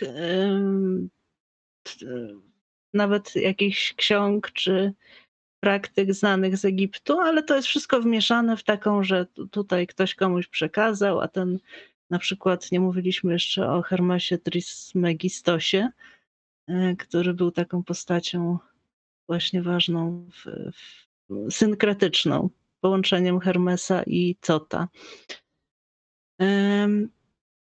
No dobrze, ale... W każdym razie to było takie, a jeżeli chodzi o feministki, feministki e, właśnie stworzyły taką mitologię, że te wszystkie te czarownice, które były jakoś tam e, czy palone, czy torturowane, czy w jakiś inny sposób zabijane albo unieszkodliwiane, e, to były właśnie te kobiety mądre, które przechowały starożytną wiedzę. I my tutaj odtwarzamy, przy, przywołujemy tą starożytną wiedzę, która e, gdzieś tam przetrwała i przeciwstawiamy się tej patriarchalnej kulturze. E, w, tą mitologię została jeszcze wpleciona e, nowe odczytanie Ewy, jako tej Ewy e, pierwszej kobiety. Takie hasło feministyczne, że Ewa została wrobiona. I połączenie jej z, z Lilith jako siostrą, która też została tutaj robiona jako ta czarownica, a tak naprawdę to ona była tą mądrą. No, feministki na różne sposoby wy, wykorzystywały, e, też żeby pokazywać, że, że mają moc, że są straszne, nawet się przebierały w te takie stereotypowe ubrania e, czarownic z piczastymi kapeluszami, z szatami. Ja chciałem zapytać o Wikkę. E. O Wikkę chciałem zapytać, no bo to jest taki nowy ruch, który, nowy, może 100 lat, ale E, ruch, który rozwinął się w XX wieku i e, bardzo nawiązuje do energii kobiecej e, w pewien sposób. Tak, oni, znaczy Wicca rzeczywiście korzysta z, z tego z tego nurtu, który jeszcze nie powiedziałam, że w XIX wieku się zaczęło to odtwarzanie czarowni z jednej strony powstawały e, cały czas te historie o czarownicach, które były tym zagrożeniem i tymi e, współpracownicami, czy, czy jakimiś tam wykorzystującymi swoje e, relacje z diabłem. A z drugiej strony zaczął się pojawiać taki nurt, że te czarownice to właśnie były te prześladowane, mądre kobiety. To było w, na przykład taki był autor Ojej, jak on się nazywał? Yy, Jules Millet, chyba taki francuski autor, który zresztą się yy, ożenił z, też z taką kobietą dość wyzwoloną. Yy, I on między innymi w, połowie XIX wieku głosił takie podejście, takie spojrzenie na czarownice i na historię czarownic, właśnie tych prześladowanych na przełomie renesansu i średniowiecza. Jeszcze w, w Stanach Zjednoczonych była na przykład taka, jak to się nazywa, sufrażystka, która y, też bardzo mm, napisała kilka książek na ten temat, że w ogóle y, czarownice to tak naprawdę wymyśliły naukę i były wynalazczyniami i różnymi takimi rzeczami. I ona, to taka ciekawostka, była teściową Franka Bauma, który napisał przygody Dorotki w krainie Os.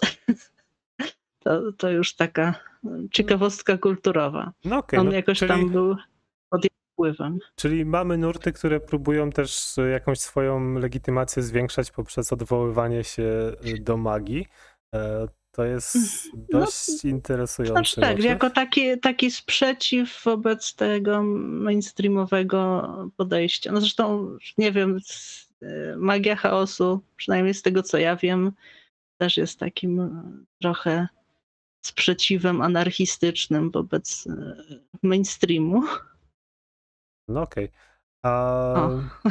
Chciałem teraz przejść. Specjalista bo... potwierdza.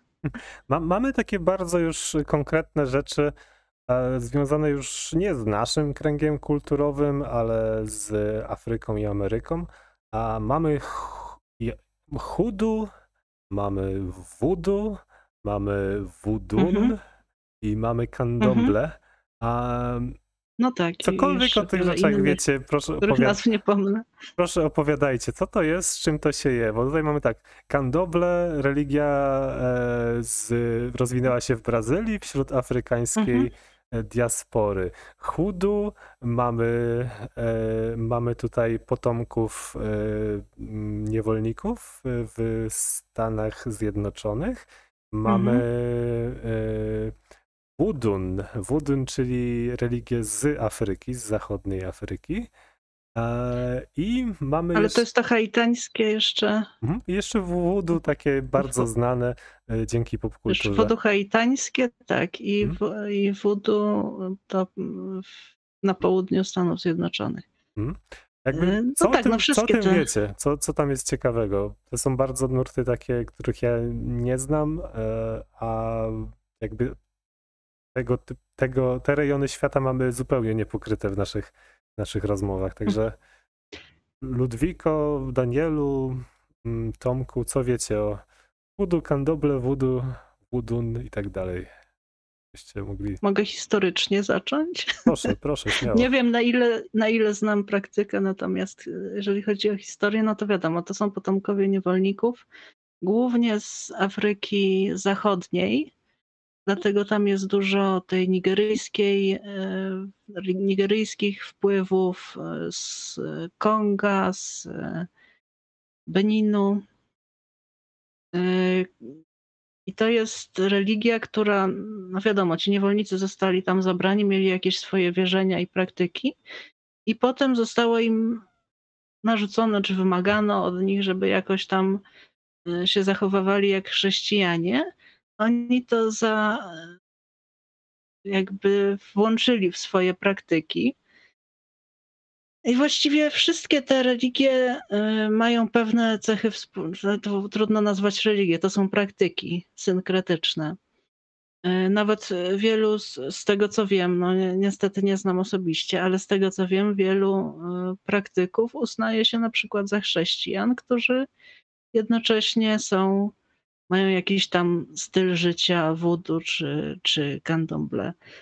E, może candomblé jest bardziej e, religią taką oddzielną, natomiast voodoo może być po prostu e, tradycją, w której nawiązują do, do jakichś swoich korzeni. Oczywiście to nie tylko jest w tej chwili praktykowane przez potomków niewolników, ale jest no, w dużej mierze. Oni to stworzyli. Y, oni jeszcze włączyli wiedzę i praktyki chyba mniej, ale w ogóle wiedzę taką y, o miejscowych y, ziołach, o miejscowych sposobach leczenia z, od ludności, która była na miejscu, czyli ludności, mówiąc ogólnie, indiańskiej czy rdzennej. O, przepraszam.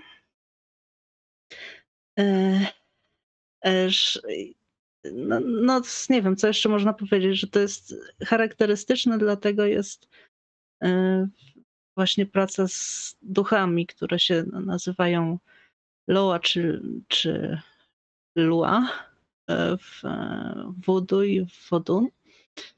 A w Candomblé to są Orisha. Orisha to jest też, zdaje się, um, nigeryjskie, czyli ojej.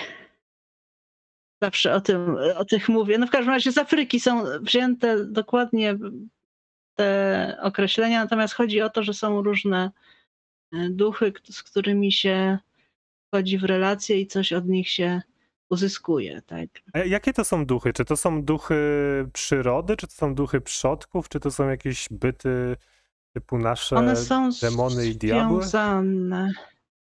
Znaczy, no, aha, jeszcze jedna rzecz bardzo ważna, charakterystyczna. One są często kojarzone ze świętymi, z tym, że święci, no to nie są tak jak święci w katolicyzmie, tylko święci tymi Niektórzy uważają, że to jest pod, po prostu pod przygrywką świętych, ale raczej to jest takie synkretyczne połączenie pewnych cech świętych z e, cechami e, tych duchów.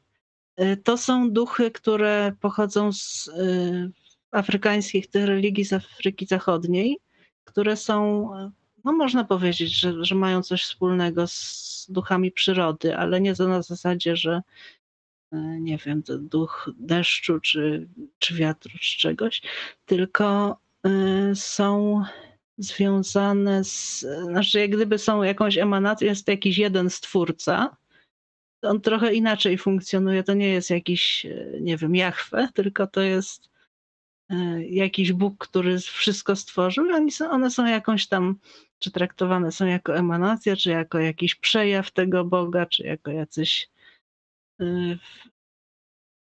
nie jestem pewna, jak to jest z, z, przodkami w tych religiach, no bo też nie jestem jakąś super specjalistką od tego, ale e, Chcia... historycznie tak to mhm.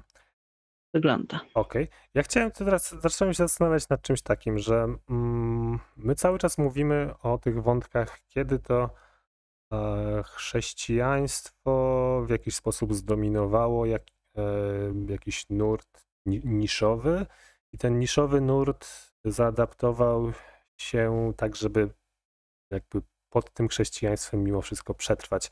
Chciałem zapytać o coś innego. Jak te wszystkie ezoteryczne wątki wpłynęły na mainstreamowe religie, na no właśnie chrześcijaństwo, islam i tak dalej? No bo e, nie poruszyliśmy wątku sufizmu. Bardzo mnie sufizm interesuje, ale niewiele o nim wiem. On w jakiś sposób stanowi taki natchniony trzon islamu, który no, dla mnie jest czymś wartościowym, tak samo praktyki duchowe w sufizmie. Mm, czy mamy coś takiego, że pewnego rodzaju trzon wysoko tam w hierarchii kościelnej praktyk, czy czy te takie praktyki, nie wiem, medytacja chrześcijańska i tak dalej, czy one czerpią e, właśnie w tą drugą stronę, to znaczy z tradycji ezoterycznej, z okultyzmu, w nie wiem, Danielu, Tomku, czy, czy wiecie coś na ten temat? Czy na przykład ten tarot wpłynął jakoś na kulturę mainstreamową i na religię mainstreamową, na duchowość mainstreamową? O tym sądzicie? Może Dan Danielu sądzisz? Ja kompletnie się tym nie interesuję. Ja interesuję się tego typu tematami wyłącznie od strony praktycznej. Mm. Okej, okay, a Tomku, czy, czy widzisz jakiś wpływ e, jakiejś naszej kultury undergroundowej na mainstream? Ciężko mi powiedzieć. Tak naprawdę e, znowu zależy kiedy i o jaką kulturę pytamy. Mhm. Jeśli mówimy o tym, popatrzcie na przykład czym był renesans E, czy to jest kultura undergroundowa? Właśnie pytanie, która czy... się pojawiła. Pytanie... Mamy, mamy, mamy, mamy średniowiecze i nagle się pojawia renesans, który robi zupełnie coś innego. Czy to jest underground? Kiedy, ten, A... kiedy, kiedy mamy ten underground? Pytanie o źródła w ogóle e... renesansu jest bardzo ciekawe, bo nasze takie technokratyczne postrzeganie po prostu mówi, że na przykład w renesansie się rozwój technologiczny pojawił, ale czy ten rozwój technologiczny był związany z po prostu takim kum e, kumulacją odkryć technicznych, czy ze zmianami się. w myśleniu? Właśnie, czy to były zmiany w myśleniu e, związane bardzo... Się. No, mów, mów. No? Hmm. Dlaczego się nie zgadzasz? Jak się nazywa ta książka? Już ci tylko powiem. No dobra, w każdym razie o co mi chodzi, że być może renesans nie był wywołany takim kumulacyjnym nagromadzeniem zasobów, które pozwoliło na e, rozwój na e, technologiczny, tudzież na przykład e, epidemią czarnej śmierci, dżumą, która mocno przeorała strukturę społeczną, tylko być może mm, te zmiany w myśleniu, one nie tylko wynikały z takiej podstawy mark marksistowskiej, że tutaj ta baza materialna się zmieniła i to zmieniło nam myślenie, tylko być może to myślenie też zmieniło, e, zmieniło nam e, sytuację materialną, no bo te różne odkrycia.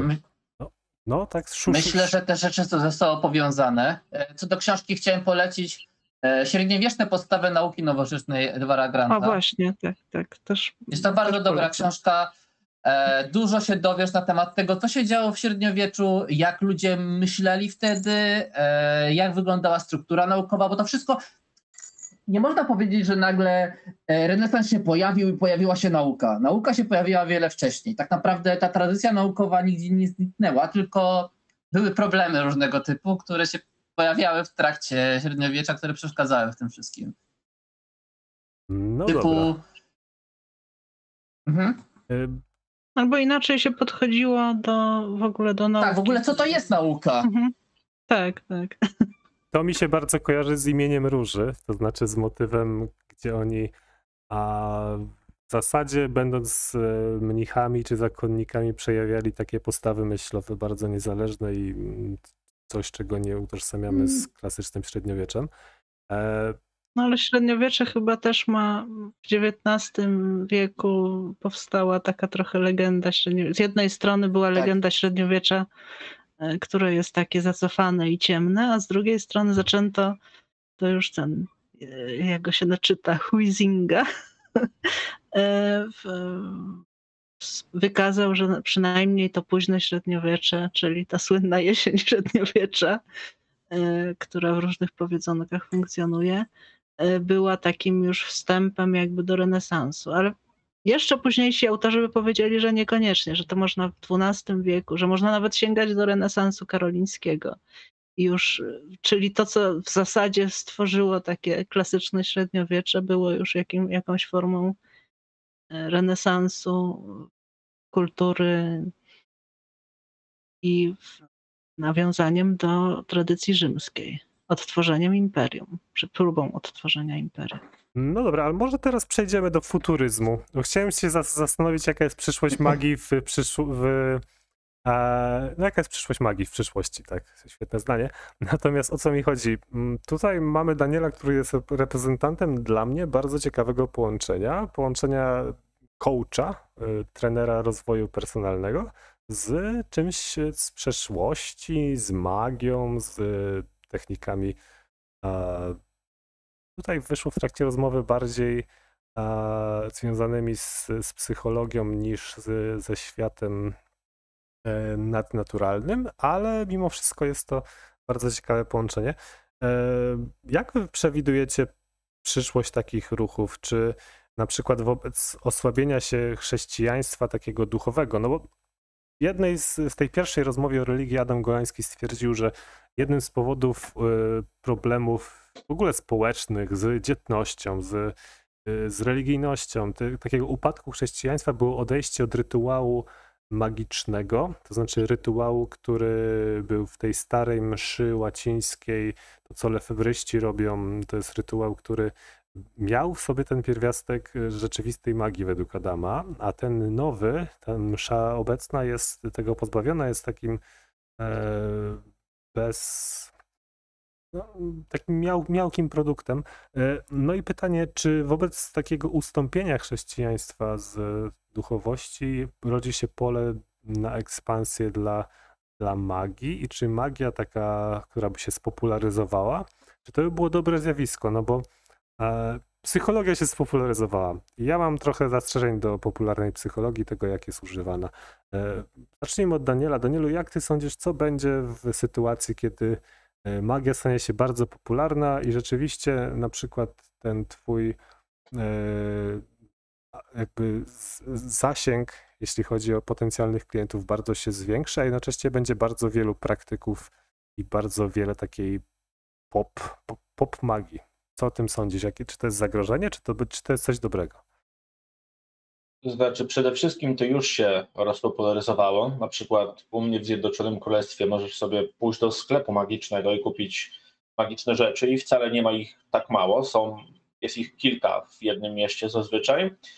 E, sam zresztą w roku około, to był wtedy 2005, ja mieszkałem naprzeciwko takiego, nazwijmy to shopem, gdzie sprzedawało wszelkie rzeczy związane z praktykami starożytnymi, rdzennymi, e, z szamanizmem, plus oczywiście e, wiele różnych narkotyków psychodelicznych. Wtedy jeszcze to było pod nazwą Legal Highs, dużo z tego tak jak na przykład mm, szałwia, ayahuasca. Szałwia, szałwia, no, cudowne.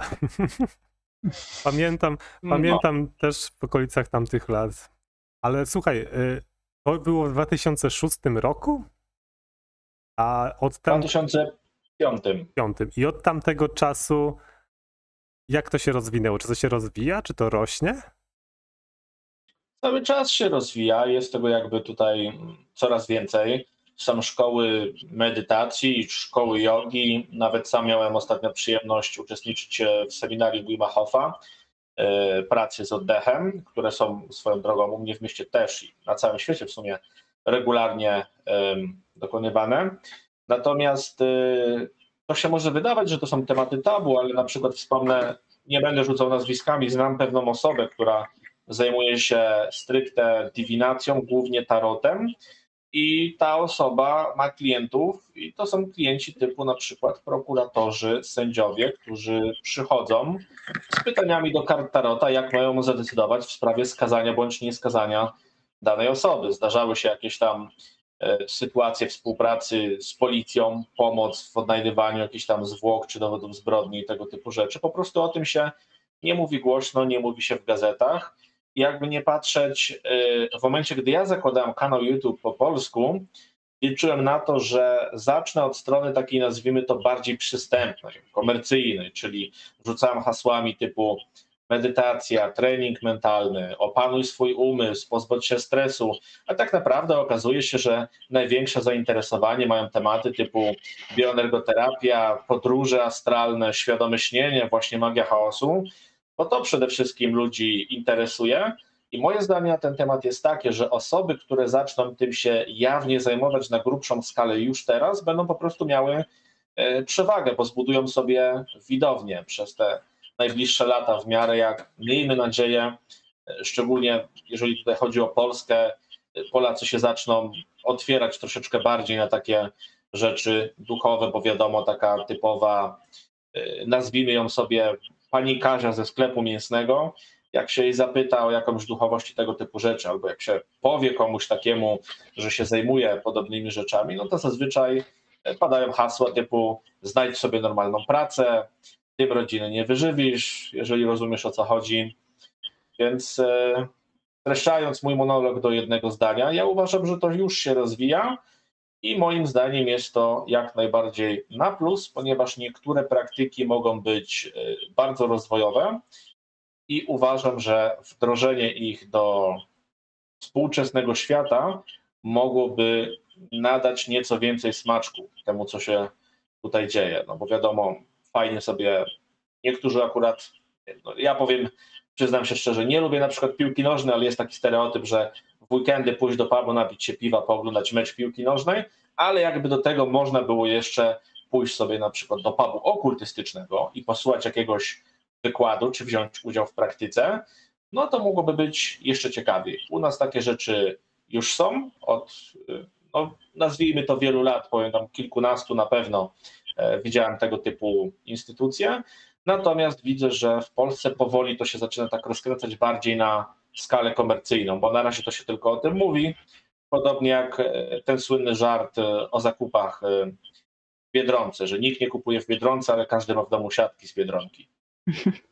A jeszcze chciałem spytać, czy ty oceniasz e, tak komercjalizację magii jako coś, co może być zagrożeniem dla użytkownika? To znaczy, e, że mogą być jakieś praktyki nie do końca uczciwe, coś w stylu naciągania ludzi? Jak to widzisz? O, strasznie, strasznie dużo tego jest. Są po prostu ludzie, którzy mają albo e, zaplecze finansowe, e, albo znajomości, albo po prostu dużą wiedzę w zakresie strategii marketingowych. No i potem się okazuje, że są szkolenia po kilka tysięcy dolarów z jakąś ciekawą autorską nazwą i się okazuje, że to są jakieś totalne pierdoły, których można się nauczyć samemu w trzy miesiące e, z podstawowych podręczników, które są ogólnodostępne. I uważam, że z jednej strony dobrze, że to się robi coraz bardziej popularne, ale z drugiej strony y, otwiera to też sporo furtek dla ludzi, którzy umią się dobrze zareklamować, a nie do końca mają pojęcie o czym mówią, bo na przykład ktoś zajmuje się tym powiedzmy półtorej roku, dwa lata i już uważa się powiedzmy za takiego guru, jak ja to sobie lubię nazywać. Dobra, Tomku, może teraz ciebie spytam, czy ty widzisz, bo w swoim otoczeniu, czy w swoich praktykach e, jakiś wzrost zainteresowania magią, czy to jest coś, co jest, co odżywa, czy to jest coś, co zamiera? Bo w moim świecie, w momencie, kiedy na przykład CEO jakiejś firmy powie, że podjął decyzję w oparciu o wróżby, to będzie natychmiastowy spadek akcji. W sensie ja mówię o swoim wyobrażeniu, jak to zadziała. Ja nie mam konkretnego przykładu, z, z życia. Natomiast Tomku, jak ty uważasz, czy magia jest na fali wznoszącej, czy tego typu praktyki są raczej dalej niszowe i pozostaną niszowe? Jak, jak to jest według ciebie? E, moim zdaniem e, magia, magia będzie dalej niszowa, bo magia jest trudna. Jest skomplikowana, wymaga dużo pracy. Więc jako taka e, będzie niszowa jeśli chodzi o samo zainteresowanie ezoteryką i takie praktyki quasi religijne, które się pojawią, myślę, że będzie jak najbardziej wzrost. Zresztą to widać w komercji. Zaraz sprzedaję e, ubrania z, z kartami tarota. Nie wiem, no, to, to, się pojawia, nie wiem, Kosmopolitan sprzedawał jakieś kryształy e, ostatnio. Moda na EZO istnieje i jest już od jakiegoś czasu. Dobrze, dobrze. Chciałem jeszcze teraz, e, skoro już tak e, po kolei, Ludwiko, czy ty mogłabyś e, wskazać na przykład okres w historii, kiedy tego typu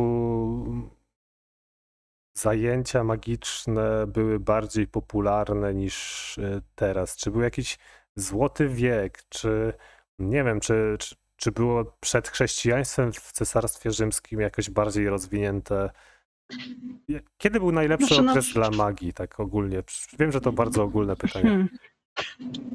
Chyba teraz. Znaczy zależy dla jakiej magii, prawda? Bo to w Rzymie był, był ten popularne wróżby i takie rzeczy, ale niektóre rodzaje magii były karane. Więc y, to zależy, co uznajemy za magię. No dobra. Jakiś A twoim, twoim zdaniem magię czeka rozwój, czy raczej zmierzch? Chyba z tego co ja widzę, to jest duże zainteresowanie, raczej ezoteryką, to znaczy właśnie ogólną ezoteryką i wpływem ezoteryki na kulturę. To, to co mówi e, Tomek, tak? Tomek. E, a, Dobrze. A ja, przepraszam, ale jak e, rozróżnimy, bo ezoteryka to jak z definicji jakaś taka wiedza tajemna, tak? E, z takiej definicji mhm. słownej. E, a, a magia, znaczy czym, tak. czym się różni ezoteryka od magii, jakbyś chciała... No magia chyba bardziej jest, jest związana z czynnościami, to znaczy z wpływaniem na rzeczywistość za pomocą może być za, na rzeczywistość psychiczną czy materialną za pomocą nie, niematerialnych środków, nie, nie bezpośredniej fizycznej jakiejś tam zależności, tylko y, no innych, to, już mówiliśmy o tym wcześniej. Tak?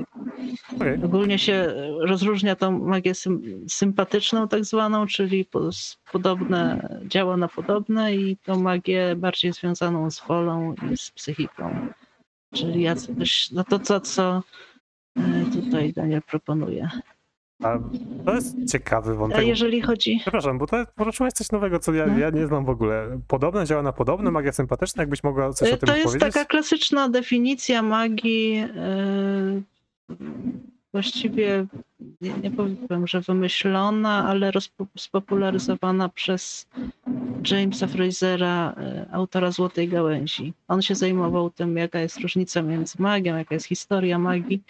E, On miał swoją oczywiście definicję i swoją, swoje wyobrażenie o historii magii, które jest e, troszkę przestarzałe teraz, ale właśnie przede wszystkim się e, jako magię definiował tą magię, w której działasz albo przez zetknięcie przedmiotu z przedmiotem, to znaczy jeżeli coś z czymś było zetknięte, to znaczy, że działa na to, albo pochodzi z tego, no to klasyczny taki, te, ten, że, że możesz uciąć kawałek włosów i potem działać na tą osobę, która, y, której te włosy były, zupełnie nie będąc w pobliżu jej.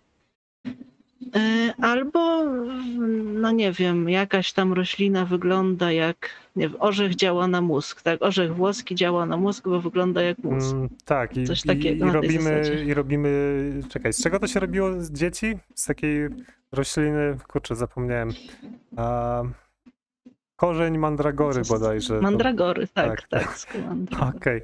A dobra, słuchajcie, bo w zasadzie to mamy ładne zakończenie tym takim motywem związanym z przyszłością magii, ale na liście mamy jeszcze kilka ciekawych rzeczy. Mamy animizm i shintoizm, który miał, być może Adam omówiłby go lepiej, ale go nie ma z nami. E, Mamy diabolizm, czyli taki kult diabła, taki autentyczny, bo z tego co kojarzę, to satanizm raczej jest e, nurtem związanym z udoskonaleniem siebie, a nie z, cz- cz- z czcią oddawaną e, diabłu. Natomiast diabolizm jest autentycznie czczeniem diabła. Mamy helenizm i pogaństwo. O helenizmie w sumie nie wspomnieliśmy, ale mm, ja się zastanawiam bardzo nad tymi ruchami neopogańskimi, bo ja tam widzę mało takiej autentycznej, jakiejś tajemnej wiedzy, a, a bardziej widzę kos, tak zwane cosplayowanie, czyli takie od, odgrywanie pewnych ról, dlatego że one są um, a, a, atrakcyjne estetycznie. No ja się zastanawiam, czy. Pewnie, Mhm. O, proszę. pewnie zależy gdzie i kto, bo z tego, znaczy ja nie znam e, ludzi osobiście niestety. Gdzieś tam w internecie znam, może spotkałam się, ale powiedzmy jak kogoś znałam kiedyś i on teraz bardziej wszedł w neopoganizm, to jeszcze nie rozmawiałam z nim jak zanim wszedł. Znaczy Wiesz co? Ja, rozmawiałam wcześniej, nie ja, teraz. ja byłem. Ale z, Mm, Wtrącę się. Byłem na neopogańskim weselu pod Krakowem. e, Aha. Bardzo fajne, w ślubie też, bardzo fajne przeżycie, natomiast nie miałem wrażenia, żeby. No wiesz, e, nawet jak idziesz na mszę kościele, to tam e, masz poczucie, na mszę tą weselną, masz jakieś kazanie, Mhm. na tym kazaniu są jakieś nauki. E, Ja w tym neopoganizmie nie widziałem jakiejś głębi, widziałem tylko tą otoczkę taką bardzo ładną, bardzo Mhm. taką swojską, ale żeby ktoś tak na, na poważnie mi wytłumaczył, dlaczego światowid Perun i tego typu mhm. bogowie są istotni w XXI wieku, nie do końca. No i może nawet, może nawet będą bardziej istotni, ale y, wiem, że to chyba bardziej, lepiej działa w y, takich środowiskach skandynawskich albo celtyckich, bo tam jest większa wiedza na ten temat, jak rzeczywiście tych bogów czczono.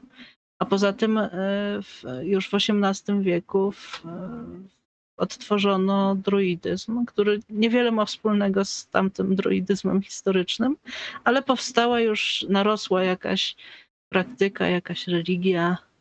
Wiem, że druidyzm na przykład jest taki znany e, autor różnych książek na temat magii i nie tylko, i właśnie też z ekologią związanych, e, John Michael Greer.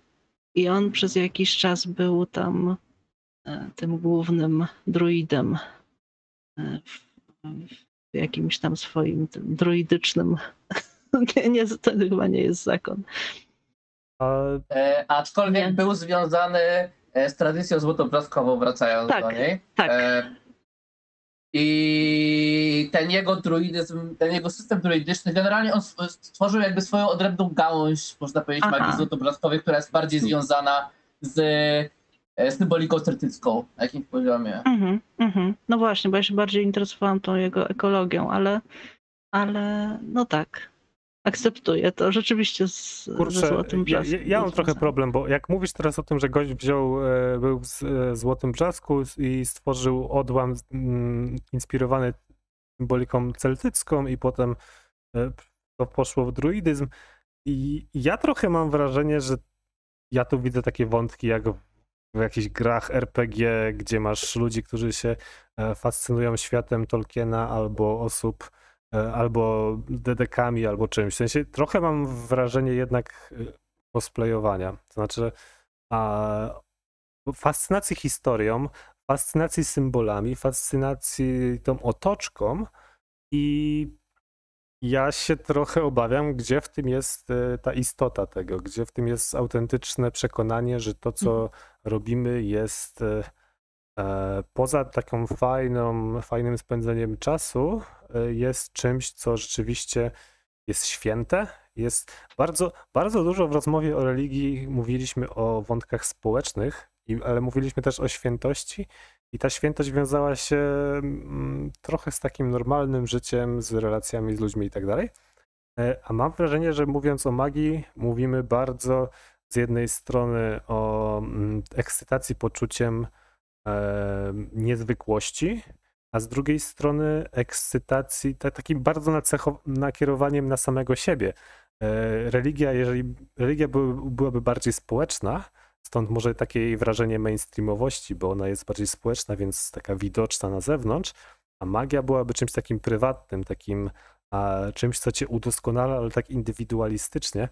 E, no i kurczę, jeśli chodzi o takie wątki komercyjne, no to na przykład jeśli Kościół tam sprzedawał odpusty, to to było bardzo niemile widziane i prowadziło do jakichś tam rewolt.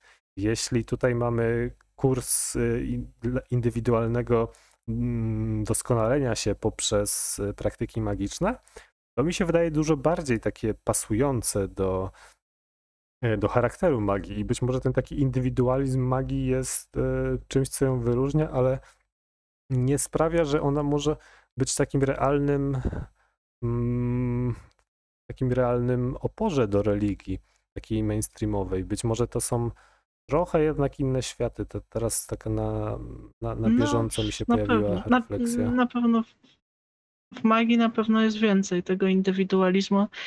Ja bym powiedziała, że Wicca trochę próbuje taka być bardziej społeczna, właśnie gdzieś tam się spotykają na jakieś obrzędy, coś. Y, też mi się przypomina inny ekolog, y, Paul Kingsnorth, który przez jakiś czas był praktykantem Wicca, a potem został niedawno zresztą, ochrzcił się w kościele prawosławnym rumuńskim chyba w każdym razie ortodoksyjnym kościele nagle stwierdził, że to jest jednak bardziej takie autentyczne. E, Danielu... Więc no są, ta, są takie. Ja, ja... Przypomniała mi się po prostu jego droga, dlatego jak mówiłeś o tym. Mhm. E, właśnie da, Danielu, autentyczności. Ja, ja, ja chciałem o to zapytać, jak to jest z tym kwestią społeczną w magii chaosu? No bo e, ruch taki anarchistyczny, wypływający ze sprzeciwu wobec skostniałego systemu przekazywania wiedzy, który nie czerpał z wielu źródeł. Y, I to jest ruch, który jest ruchem oporu, ale jednocześnie wydaje się być czymś bardzo luźnym. To znaczy, mm, czy magia chaosu mogłaby się po pierwsze skrystalizować w jakiś kanon, a po drugie, jak tam jest z tworzeniem więzi między tymi, e, między tymi e, członkami, czy tam wyznawcami, bo e, na przykład ty, bo masz tego mistrza, mistrz cię uczy, ale to jest taka relacja trochę E, że tak powiem, e, użyteczna. E, natomiast czy tam są też zalecenia dotyczące tego, jak dobrze żyć? Czy taki mak chaosu może być jakimś niesamowitym dupkiem, który dominuje wszystkich naokoło i pod siebie tylko wszystko zbiera? Czy tam są też takie reguły typu jak dobrze żyć, jak dobrze żyć z innymi i jak harmonijne społeczeństwo budować? Danielu? To zależy od osoby. Ja zacznę troszeczkę wcześniej przy okazji odnosząc się do poprzednich pytań i postaram się tak streścić, żeby było spójne, bo jest tutaj parę też ciekawych koncepcji, które być może widzowie, przynajmniej ja się z tym spotkałem, że bardzo często ludzie nie rozróżniają tych pojęć, więc yy, chciałbym na, na chwilę wrócić do definicji ezoteryki, magii, okultyzmu i tak dalej. Tutaj po prostu wyłożyć jakby kawę na ławę, że ezoteryka, czyli wiedza zazwyczaj dostępna yy, dla osób w zamkniętym gronie lub też tajne stowarzyszenie i tak dalej, to się wychodzi od greckiego, wywodzi, przepraszam, od greckiego terminu ezoterikos. Mamy jeszcze okultyzm, to się wywodzi od łacińskiego okulere, czyli zakrywać, ukrywać coś, co nie jest widoczne. No i okultyzm ogólnie pochodzi od hasła scientia occulta, czyli nauka o tym, co ukryte, na co, gdy to powstawało, to nawet psychologię można było wtedy podpiąć po taką scientia occulta, podobnie jak astronomię i inne tego typu nauki, czy nawet anatomię. E, natomiast jeżeli chodzi o magię, to magia jest po prostu dla mnie przynajmniej sposobem wpływania na rzeczywistość, niezależnie od tego, czy zewnętrzną, czyli makrokosmos, czy wewnętrzną, czy mikrokosmos, za pomocą praktyk związanych z siłą umysłu. I teraz pytałeś też o to, jak to dokładnie się ma do na przykład takich ceremonii neopogańskich, gdzie powiedziałeś, że dużo osób tutaj e, miałeś wrażenie, iż jest to troszeczkę tak jakby rekreacja klimatu, atmosfery, czyli nazwijmy to na pokaz, niż e, faktycznie coś religijnego. Na przykład znaną nie tylko z magii chaosu, ale z różnych systemów okultystycznych, gdzie przykładowo mamy maga, nawet jeżeli cofniemy się do e, czasów tysiące, miliony lat wstecz i mamy szamana plemiennego, który gdzieś tam sobie, załóżmy, upolował tygrysa szabrozębnego, przebiera się e, w jego futro, grają sobie szamani na bębnach, jednocześnie do tego oczywiście bardzo często spożywają substancje psychoaktywne i wchodzą w swego rodzaju trans, e, to niczym się tak naprawdę nie różni od tego, co robimy teraz. Na przykład możemy sobie wziąć pod lupę takiego dresiarza, który, jeżeli nie jest łysy, układa sobie włosy na żel, idzie na dyskotekę, perfumując się pachnidłami, często marki Adidas, e, i tańczy sobie do muzyki popularnie zwanej techno, która tak naprawdę nie jest techno, bo zazwyczaj jest to albo muzyka po prostu klubowa, popularna, albo to nie, nie różni od magii, dlatego że ubierając się w pewien strój, wykorzystując do tego dźwięki, jeszcze jeżeli do tego dojdą substancje psychoaktywne, tak naprawdę wpływamy wtedy na swój umysł. Czyli tak samo jak kiedyś spożywało się na przykład wilcze jagody, bieluń czy, czy inne substancje psychoaktywne, swoją drogą nawet ziarna kakaowca są psychoaktywne, można je kupić na Allegro i stosować zamiast kawy.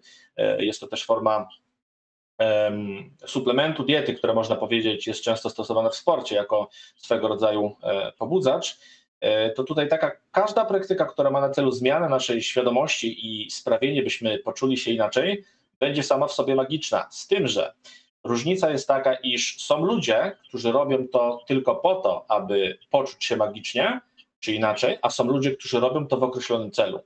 Czyli dla przykładu, e, ja bym mógł wykonać rytuał, podczas którego przywołam istotę z gry komputerowej, celu zbudowania większej pewności siebie, asertywności i tak dalej. I to będzie taką jakby bardziej praktyczną formą magii, a mógłbym zrobić coś tylko po to, żeby poczuć się inaczej. Czyli tak jak na przykład e, jako dziecko bawiliśmy się w Batmana, Spidermana i tak dalej. To też było formą magii, która bazowała na tych samych mechanizmach, tylko że nie dawała żadnych praktycznych wartości w tym naszym ziemskim, materialnym, realnym życiu.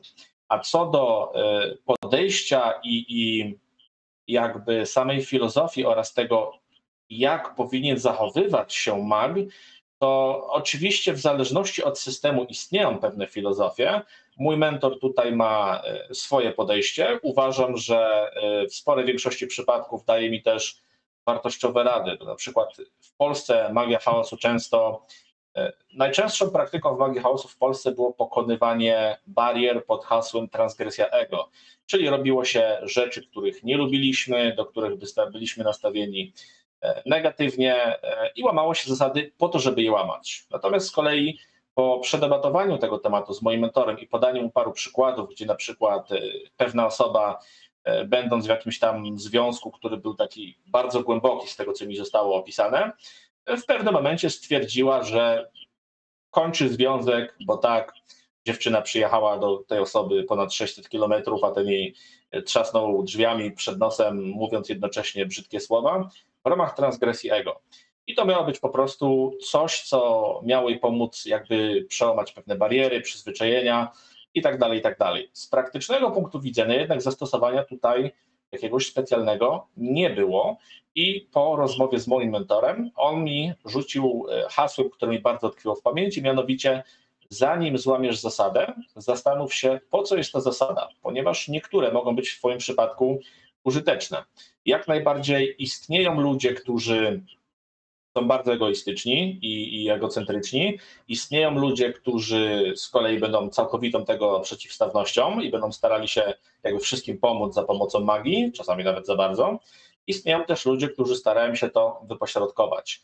I o ile w magii chaosu jest tego bardzo mało, tylko niektóre osoby mają jakąś tam ideologię, filozofię życia i, i starają się przekazać to y, często młodszym kolegom, bo y, teraz y, praktyki okultystyczne zdarza się, że przyciągają bardzo dużo młodych osobników pod wpływem takiego hypu, którzy starają się zgłębić to tylko dlatego, że jest to popularne, ale samo zjawisko zachowywania się w konkretny sposób jest raczej domeną filozofii, która jest obecna w innych zakonach magicznych, czy też po prostu w innych systemach bądź filozofiach. Na przykład tak jak mamy satanizm lawejowski, no to tam przede wszystkim jest to filozofia, która opiera się na zaspokajaniu własnych rządz niby fajne, niby bunt przeciwko z góry narzuconym zasadom Kościoła katolickiego, jednak z drugiej strony, jeżeli temu się przyjrzymy, ja osobiście czytałem Biblię Szatana, jak tam miałem bodajże chyba 10 lat, kompletnie to do mnie ta lewejowska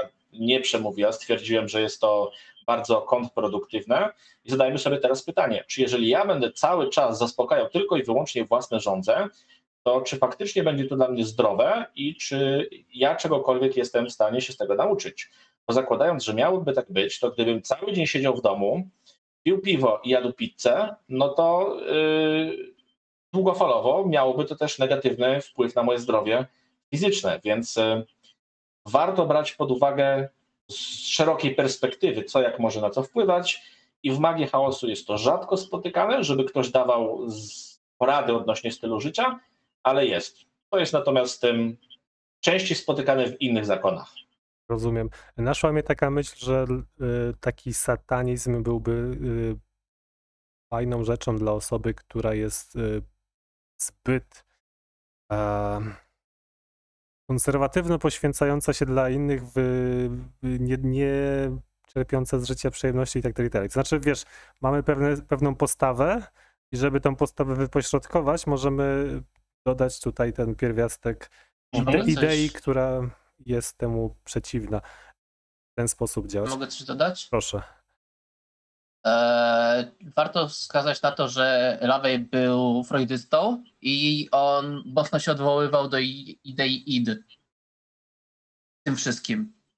Na tym to polegało. I jeżeli na to spojrzysz w ten sposób, to troszeczkę zaczyna to nabierać sensu, to, to co on próbował robić. To było bardzo teatralne też przy okazji. E, Ten no, teatr był bardzo ważny w tym wszystkim. No dobrze, ale czy tego typu wyzwolenie tych swoich rząd y, i danie jakiegoś upustu tym rzeczom, które siedzą w twoim id, to jest takim e, elementem, który cię oczyszcza i ty po tym akcie jesteś jakby ba, ba, bardziej pełny i zdrowy psychicznie? Teoretycznie tak chyba to miałoby działać. Aczkolwiek ja nie jestem fanem Laveya, więc nie będę się wypowiadać jakoś mocniej na ten temat. A to, a to powiem wam, że jestem trochę rozczarowany. Ja bym chciał ideologię, która będzie taka czysto hedonistyczno-konsumpcjonistyczna, ale bez takiej głębszej, głębszego twistu, jak właśnie teraz y, omówiliśmy. Dobra, mamy już prawie dwie godziny na liczniku. Ja się chciałem cię zapytać, Ludwiko, bo ty wspomniałeś, mhm. o, wspomniałeś o agnostycyzmie. No i przypominasz kolegę Pawła Chrula, który e, kabałą się fascynuje, ale, że tak powiem, e, pali, ale się nie zaciąga. To znaczy ma o niej bardzo dużą wiedzę, ma o niej bardzo dużą mhm. wiedzę, ale to, to, to, go, to go nie, nie wierzy w to w jakiś sposób. E, czy ty mhm. w swojej takiej podróży przez rozmaite nurty ezoteryczno-okultystyczne, nie miałaś takich ciągot, żeby próbować tych praktyk? Czy miałaś doświadczenia tego typu? Bo ja interesując się tego typu rzeczami, tak naprawdę mam mhm. swoje mhm. doświadczenia, które są zupełnie moje osobiste. Znaczy, to nie jest tak, że mam jakąś szkołę, ja podążam tą szkołą i ta szkoła mi mm, jakby wywołuje coś, tylko mam doświadczenia, które są z różnych nurtów, ale raczej związanych y, z praktykami religii darmicznych, hinduizmu i tak dalej. E, chciałem Cię zapytać, jak to u Ciebie jest tak osobiście z, z przeżyciami związanymi z duchowością, z y, religią, magią, y, wiarą, światem nadnaturalnym i skąd ten agnostycyzm? Bo ja rozumiem agnostycyzm jako taką postawę, e, że nie wiem, nie potrafię sobie tego wytłumaczyć, ale jakby, czy miałaś przeżycia, no, ja. Czy miałaś przeżycia związane z nadnaturalnością? Y, to znaczy, ja y, podchodzę do świata właśnie niematerialistycznie, tak? Nie, nie wydaje mi się, że materializm jest najlepszym opisem świata, może tak. Y, zresztą materializmów jest wiele, to jest inna sprawa, ale i tak jakoś, no może jeszcze nowy materializm, nowy materializm tak trochę próbuje tą materię nagiąć do tego, że w zasadzie ona się robi taka animistyczna bardziej. E, natomiast e, no ja się bardzo dobrze czułam przez całe dzieciństwo i młodość w katolicyzmie. Jakoś nie miałam. E, odeszłam, bo powiedzmy już nie, nie przemawia do mnie cała ta konstrukcja ideowa. Może nie wiem, może jakbym teraz próbowała wejść w te kościelne hierarchie, to też by mi to nie odpowiadało specjalnie. Natomiast nigdy nie miałam takiego, że nie wiem, to jestem wkurzona na nich, oni jakieś kłamstwa robią czy coś. To nie, nie, nie miałam nigdy takich doświadczeń. Y, I jakoś zawsze tam gdzieś na, na granicy tej takiego poczucia ogólnej, naturalnej mistyki, jakby śpiewał Bob Marley, y, funkcjonowałam. E, natomiast nie, mało miałam takich doświadczeń z magią, taką, nie wiem, żeby tak praktykowałam trochę e, medytacji. Myślę, że będę też e, jeszcze praktykować. Z jogi to nie ma co wspominać, bo to raczej to, co ja robiłam, to były ćwiczenia, to nie była praktyka duchowa no trochę jakichś takich rytuałów związanych z jakimś tam właśnie medytacja przy świercy, coś takiego bardzo ogólnego. Raczej to wszystko znam z teorii, raczej to jest w ramach tych zainteresowań e, historią kultury i trochę neoanimizmem. To znaczy raczej staram się po prostu inaczej patrzeć na świat, nie w tym takim mechanistycznym e, systemie, w którym nas wychowano wszystkich, tylko właśnie jak to by było, gdyby na przykład ten, na ten sam świat patrzy, ale wszystko jakoś jest tam żywe i jakoś wchodzi z tobą w interakcję, powiedzmy. Tak? To jest animizm, mówiąc ogólnie. Dobra. E, no, takie moje doświadczenia są. Jesteśmy, One są ciekawe, ale skoro, nie. Skoro jesteśmy przy animizmie, bo to mnie bardzo interesuje, jeżeli to jest w jakiś sposób uznawane za taką defaultową religię e, ludzkości, łowców, zbieraczy, którzy widzieli w naturze otaczającej ich, szkoda, że nie ma Łukasza, ale naturze, która ich otacza, pewnego rodzaju duchy, świadomości, czy animizm i teraz neoanimizm to jest e, jakaś podstawowa religia ludzkości, twoim zdaniem? Czy wie... Znaczy to... to... Ja się zastanawiam, czy na przykład wiesz, żyliśmy setki tysięcy lat przed nawet powstaniem cywilizacji, neolitem i tak dalej, no i e, o czym sobie ci ludzie myśleli? Czy wszyscy byli animistami? No pewnie nie. Pewnie tam była cała masa różnych nurtów, więc dlaczego jak mamy tą teorię, że na przykład religie abrahamowe i tam w ogóle monoteizm powstały w związku z tym, że zaczęliśmy hodować e, zwierzęta, hodować rośliny, a jeżeli hodujemy zwierzęta, no to już nie ma tego ducha bawołu, któremu tam oddajemy cześć po upolowaniu go, no ale on jest ujarzmiony, więc mamy tego taką hierarchiczną strukturę Boga, który daje nam ziemię poddaną i tak dalej. No i mamy coś takiego. No i czy w związku z tym, że jeżeli ludzie żyli w, w tych strukturach łowiecko-zbieraczskich przez te setki tysięcy lat, no to czy tego typu życie wywołuje animizm? Czy to jest domyślna religia człowieka? Znaczy, no to jest pomysł XIX-wiecznego antropologa, także że to nie jest nie do końca głupi pomysł, to znaczy, że rzeczywiście jest jakaś podstawa taka dla różnych e, kultur ludzkich, czy różnych. E, ja też nie lubię takiego ewolucjonistycznego podejścia do, do historii ludzkości, bo to się rozwija różnie, tak, w różnych miejscach. Natomiast ten animizm, który gdzieś tam się próbuje jakoś z nim zapoznać właśnie w, w ramach neoanimizmu, nawet nie chodzi o to, że wszystko ma, że wszędzie są duchy, tak, że duch kamienia, duch czegoś tam. Te duchy niekoniecznie są rozumiane tak jak XIX-wieczny antropolog rozumiał duszę, y, pochodził z jakiejś tam y, religii protestanckiej.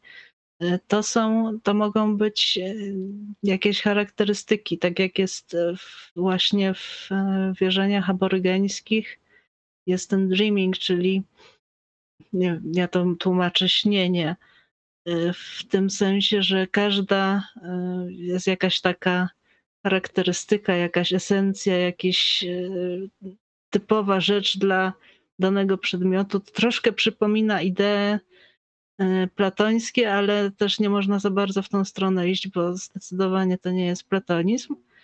Ale na przykład e, Tyson Yunkaporta właśnie e, pisze o tym, że śnienie nie tylko, że jakiś człowiek ma swoje śnienie, czy że nie wiem, drzewo, czy kot, czy ptak ma swoje śnienie, ale śnienie na przykład mają wycieraczki w samochodzie, samochód ma śnienie, to są, to są to jest taka esencja tego, tego e, czegoś czy tego kogoś.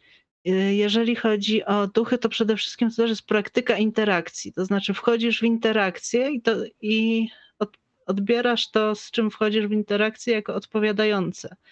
I dlatego to ma ducha, tak? Też jest jakaś. E, um... Okej, okay. ja się zawsze. Ja, ja się zawsze przy tym boję czegoś takiego, że my projektujemy swoje własne ludzkie zachowania. To znaczy, wiesz, mamy samochód, który lubimy i nazwiemy go jakoś i, i wiesz, jakby rzutujemy na przedmiot takie ożywienie wszystkiego.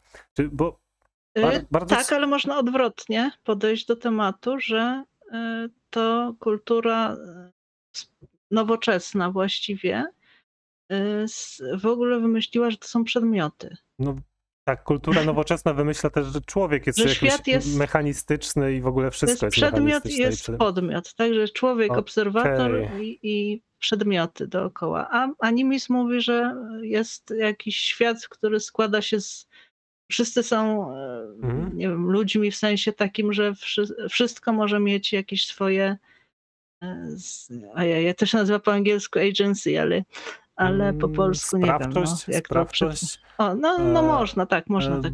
Dobra, podmiotowość, sprawczość. Dobra, słuchaj, bo a, kiedyś z Pawłem Królem o tym rozmawialiśmy. To jest ta koncepcja, kiedy masz a, dzieje ludzkości, które, która rozwijała się w sposób, który też przypomina rozwój osobniczy obecnego człowieka. To znaczy, najpierw masz takie bardzo dziecinne postrzeganie, potem zaczynasz się wyodrębniać jako indywiduacja, indywidualizacja. W każdym razie o co chodzi, że Paweł Chrulben skupiając się bardzo na słowach, y, bardzo też y, opowiadał o tym, że na przykład pierwsi ludzie, którzy dali w ogóle ludziom słowa, to byli jacyś y, schizofrenicy, którzy w takim w zasadzie hmm. bełkocie, będąc jeszcze szamanami pod wpływem jakiejś substancji, wypowiadali różne dźwięki i ludzie na przykład podchwytywali te dźwięki. W ogóle być może jest mhm. hipoteza, że taka była też funkcja trochę społeczna szamanów, że oni jakby konstytuowali y, pewnego rodzaju abstrakcyjne myślenie, być może w swojej skrajności, w swoich zachowaniach wydawałoby nam się absurdalne, ale jakby, że to oni zaczynali pewnego rodzaju wyższe funkcje umysłowe i rozwój tych wyższych funkcji umysłowych y, stopniowo zmieniał też mm, nasze postrzeganie mm, świata duchowego i ten świat duchowy jakby ewoluował razem z psychiką człowieka, tak jak mamy te wątki, no nie wiem, że starożytni Grecy nie, nie, nie, nie rozróżniali koloru jakiegoś czerwonego i niebieskiego, czy coś w tym stylu. No ale to też jest nie do końca prawda. Okay. To nie jest do końca prawda, ale to Mhm. może na inny, inny temat. Jasne, jasne. O kolorach. Tylko o co mi chodzi, że mamy Mhm. mm, te teorie, zwłaszcza dotyczące pradawnych czasów, one są uproszczeniami, one są takim naszą No tak. potrzebą tego, żeby stworzyć teorię, która będzie nam tłumaczyć rzeczywistość, a rzeczywistość zawsze jest bardziej Znaczy złożona. tak, no trzeba złożona. zawsze, Mhm. zawsze pamiętać o tym, że tak naprawdę nie wiemy, co robili ludzie Tak, prehistoryczni. tak. Y, Oso, ostatnio Oprócz- słuch- słuchałem o fascynujących rzeczach, że mieli, były na przykład miasta prehistoryczne, które nie opierały się na tym, że masz rolnictwo i jakieś hierarchiczne Mhm. struktury, tylko miałeś, y, gdzie łowcy zbieracze się spotykali, sobie handlowali, ale to były nie było mm, wytworzone przed tą cywilizację już neolityczną. Mniejsza z tym. Słuchajcie, Mhm. skaczemy już teraz po, po wątkach taką dogrywkę. Ja bym chciałem bardzo, bardzo podziękować za tę rozmowę. Będziemy kończyć. Y, O co mi chodzi w tej rozmowie? Myśmy, ja przynajmniej, y, rozmawiając z wami, zwiększyłem swoje wyobrażenie o magii. Ja mniej więcej mm, teraz wiem, z czym to się je. I prawdopodobnie nie będę tak y, dziecinnie podchodził, jak y, moje niektóre pytania tutaj wskazywały. E, I za to Wam bardzo dziękuję. E, Moimi Państwa gośćmi e, była Ludwika Wykusz, Daniel Dom Domaracki oraz Tomek. I jak już mówiłem, będziemy mieli trochę linków w opisie. Zapraszam do zapoznania się. E, Może chcecie jeszcze na koniec parę słów od siebie. E, Danielu, może zaczniesz? To ja może zacznę od tego, że jeżeli tutaj będą osoby zainteresowane faktyczną praktyką e, okultyzmu, rada, którą mogę dać dla, dla takich osób, które dopiero co zaczynają, to jest skupić się na praktyce, na tym, jakie wy macie doświadczenia sami ze sobą, na tym, co działa, co nie działa dla was i na to, z czym wam się dobrze pracuje, a nie co zostało opisane w jakimś tam grimoirze. A jeżeli zostało opisane, i działa na Was lub dobrze się Wam z tym pracuje, ale połowicznie, to zawsze to można zmienić wedle własnych preferencji. Dobrze. Tomku, jak się pożegnasz z naszymi widzami? E, szczerze mówiąc, trochę żałuję, że tak mało rozmawialiśmy w końcu o tym tarocie. Bo Eee, wymieniliśmy tak naprawdę parę zdań. proszę, opowiadaj. Co? Mam, wiesz, Tak naprawdę nie wiem, znowu jest pytanie, co tak naprawdę mam, mam opowiadać, bo to jest naprawdę wiesz bardzo szeroki Słuchaj, temat. Tomek, zrobimy tak. E, My się prywatnie możemy ze sobą porozmawiać i jakby Mhm. y, ustalimy sobie dokładną listę tematów i wtedy możemy sobie zrobić po, poszczególne nagranie poświęcone Myślę, że. I nawet myślę, moglibyśmy... że powinniśmy najpierw spędzić tak parę dobrych godzin na tym, co w ogóle, o czym w ogóle możemy rozmawiać E, od czego okej. to wszystko wychodzi. Ale, ale, ale, ale. y, ja Wspomniałeś, że jesteś przedstawicielem pewnej szkoły y, i ta szkoła... Nie, nie, nie, nie. E, inaczej. Nie jestem przedstawicielem pewnej szkoły, aczkolwiek najbardziej, jeżeli bym miał w tym momencie powiedzieć, że jestem przedstawicielem jakiejś szkoły, to się. jestem w szkole, jestem w szkole e, Crowley'a. Skłaniasz się ku pewnej, szk- pewnej wersji. E, Moglibyśmy też znaleźć osobę, która może w trochę w innym nurcie siedzi, e, zrobić rozmowę taką szerszą i przygotować te tematy. To jest jak najbardziej wykonalne. Także, e, no, Nie jestem pewien, czy debata w tym przypadku jest dobrym pomysłem, ponieważ znowu jest to praktyka, która jest ustalona na określenie pewnych celów, a system jest mapą. System jest mapą, nie jest terytorium. Każdy z tych systemów jest pewnego rodzaju mapą, która ma doprowadzić do określonych rezultatów. Te rezultaty zazwyczaj ten system opisuje, jakie powinny być. Czego chcesz, co chcesz osiągnąć, co, ten, co to ma zrobić. E, dobra, czyli na przykład ten, ten inny nurt będzie po prostu inną kwestię zgłębiał, inne efekty dawał do innych zastosowań. Na tak? przykład. Ok- okulistyka. Na przykład one mogą być i, bardzo, zbi- one mogą być e, bardzo zbieżne na jakimś poziomie, ale tak naprawdę mogą się No definitywnie różnić ostatecznie. rozumiem. Mo- może by się tym zająć, to już będzie szczegółowe, ale ja bym w ogóle też chciał, żebyśmy, nie wiem czy to w ogóle można tak zrobić, ale na przykład nagrać, nagrać e, takie rozdanie Tarota, czy to jest na przykład coś zbyt prywatnego, żeby to nagrać i upublicznić, bo to jest bardzo interesujące, jak to wygląda. Zrobiłeś mi jakiś czas temu i e, no, Mhm. było, było to robiące, robiące wrażenie. Dobrze, Ludwiko, mm, czy mogłabyś się pożegnać z naszymi widzami tego odcinka? E, znaczy tak, no ja się cieszę, że porozmawialiśmy chociaż trochę, już Mhm. każdego tematu tylko tak drapnęliśmy po powierzchni, Mhm.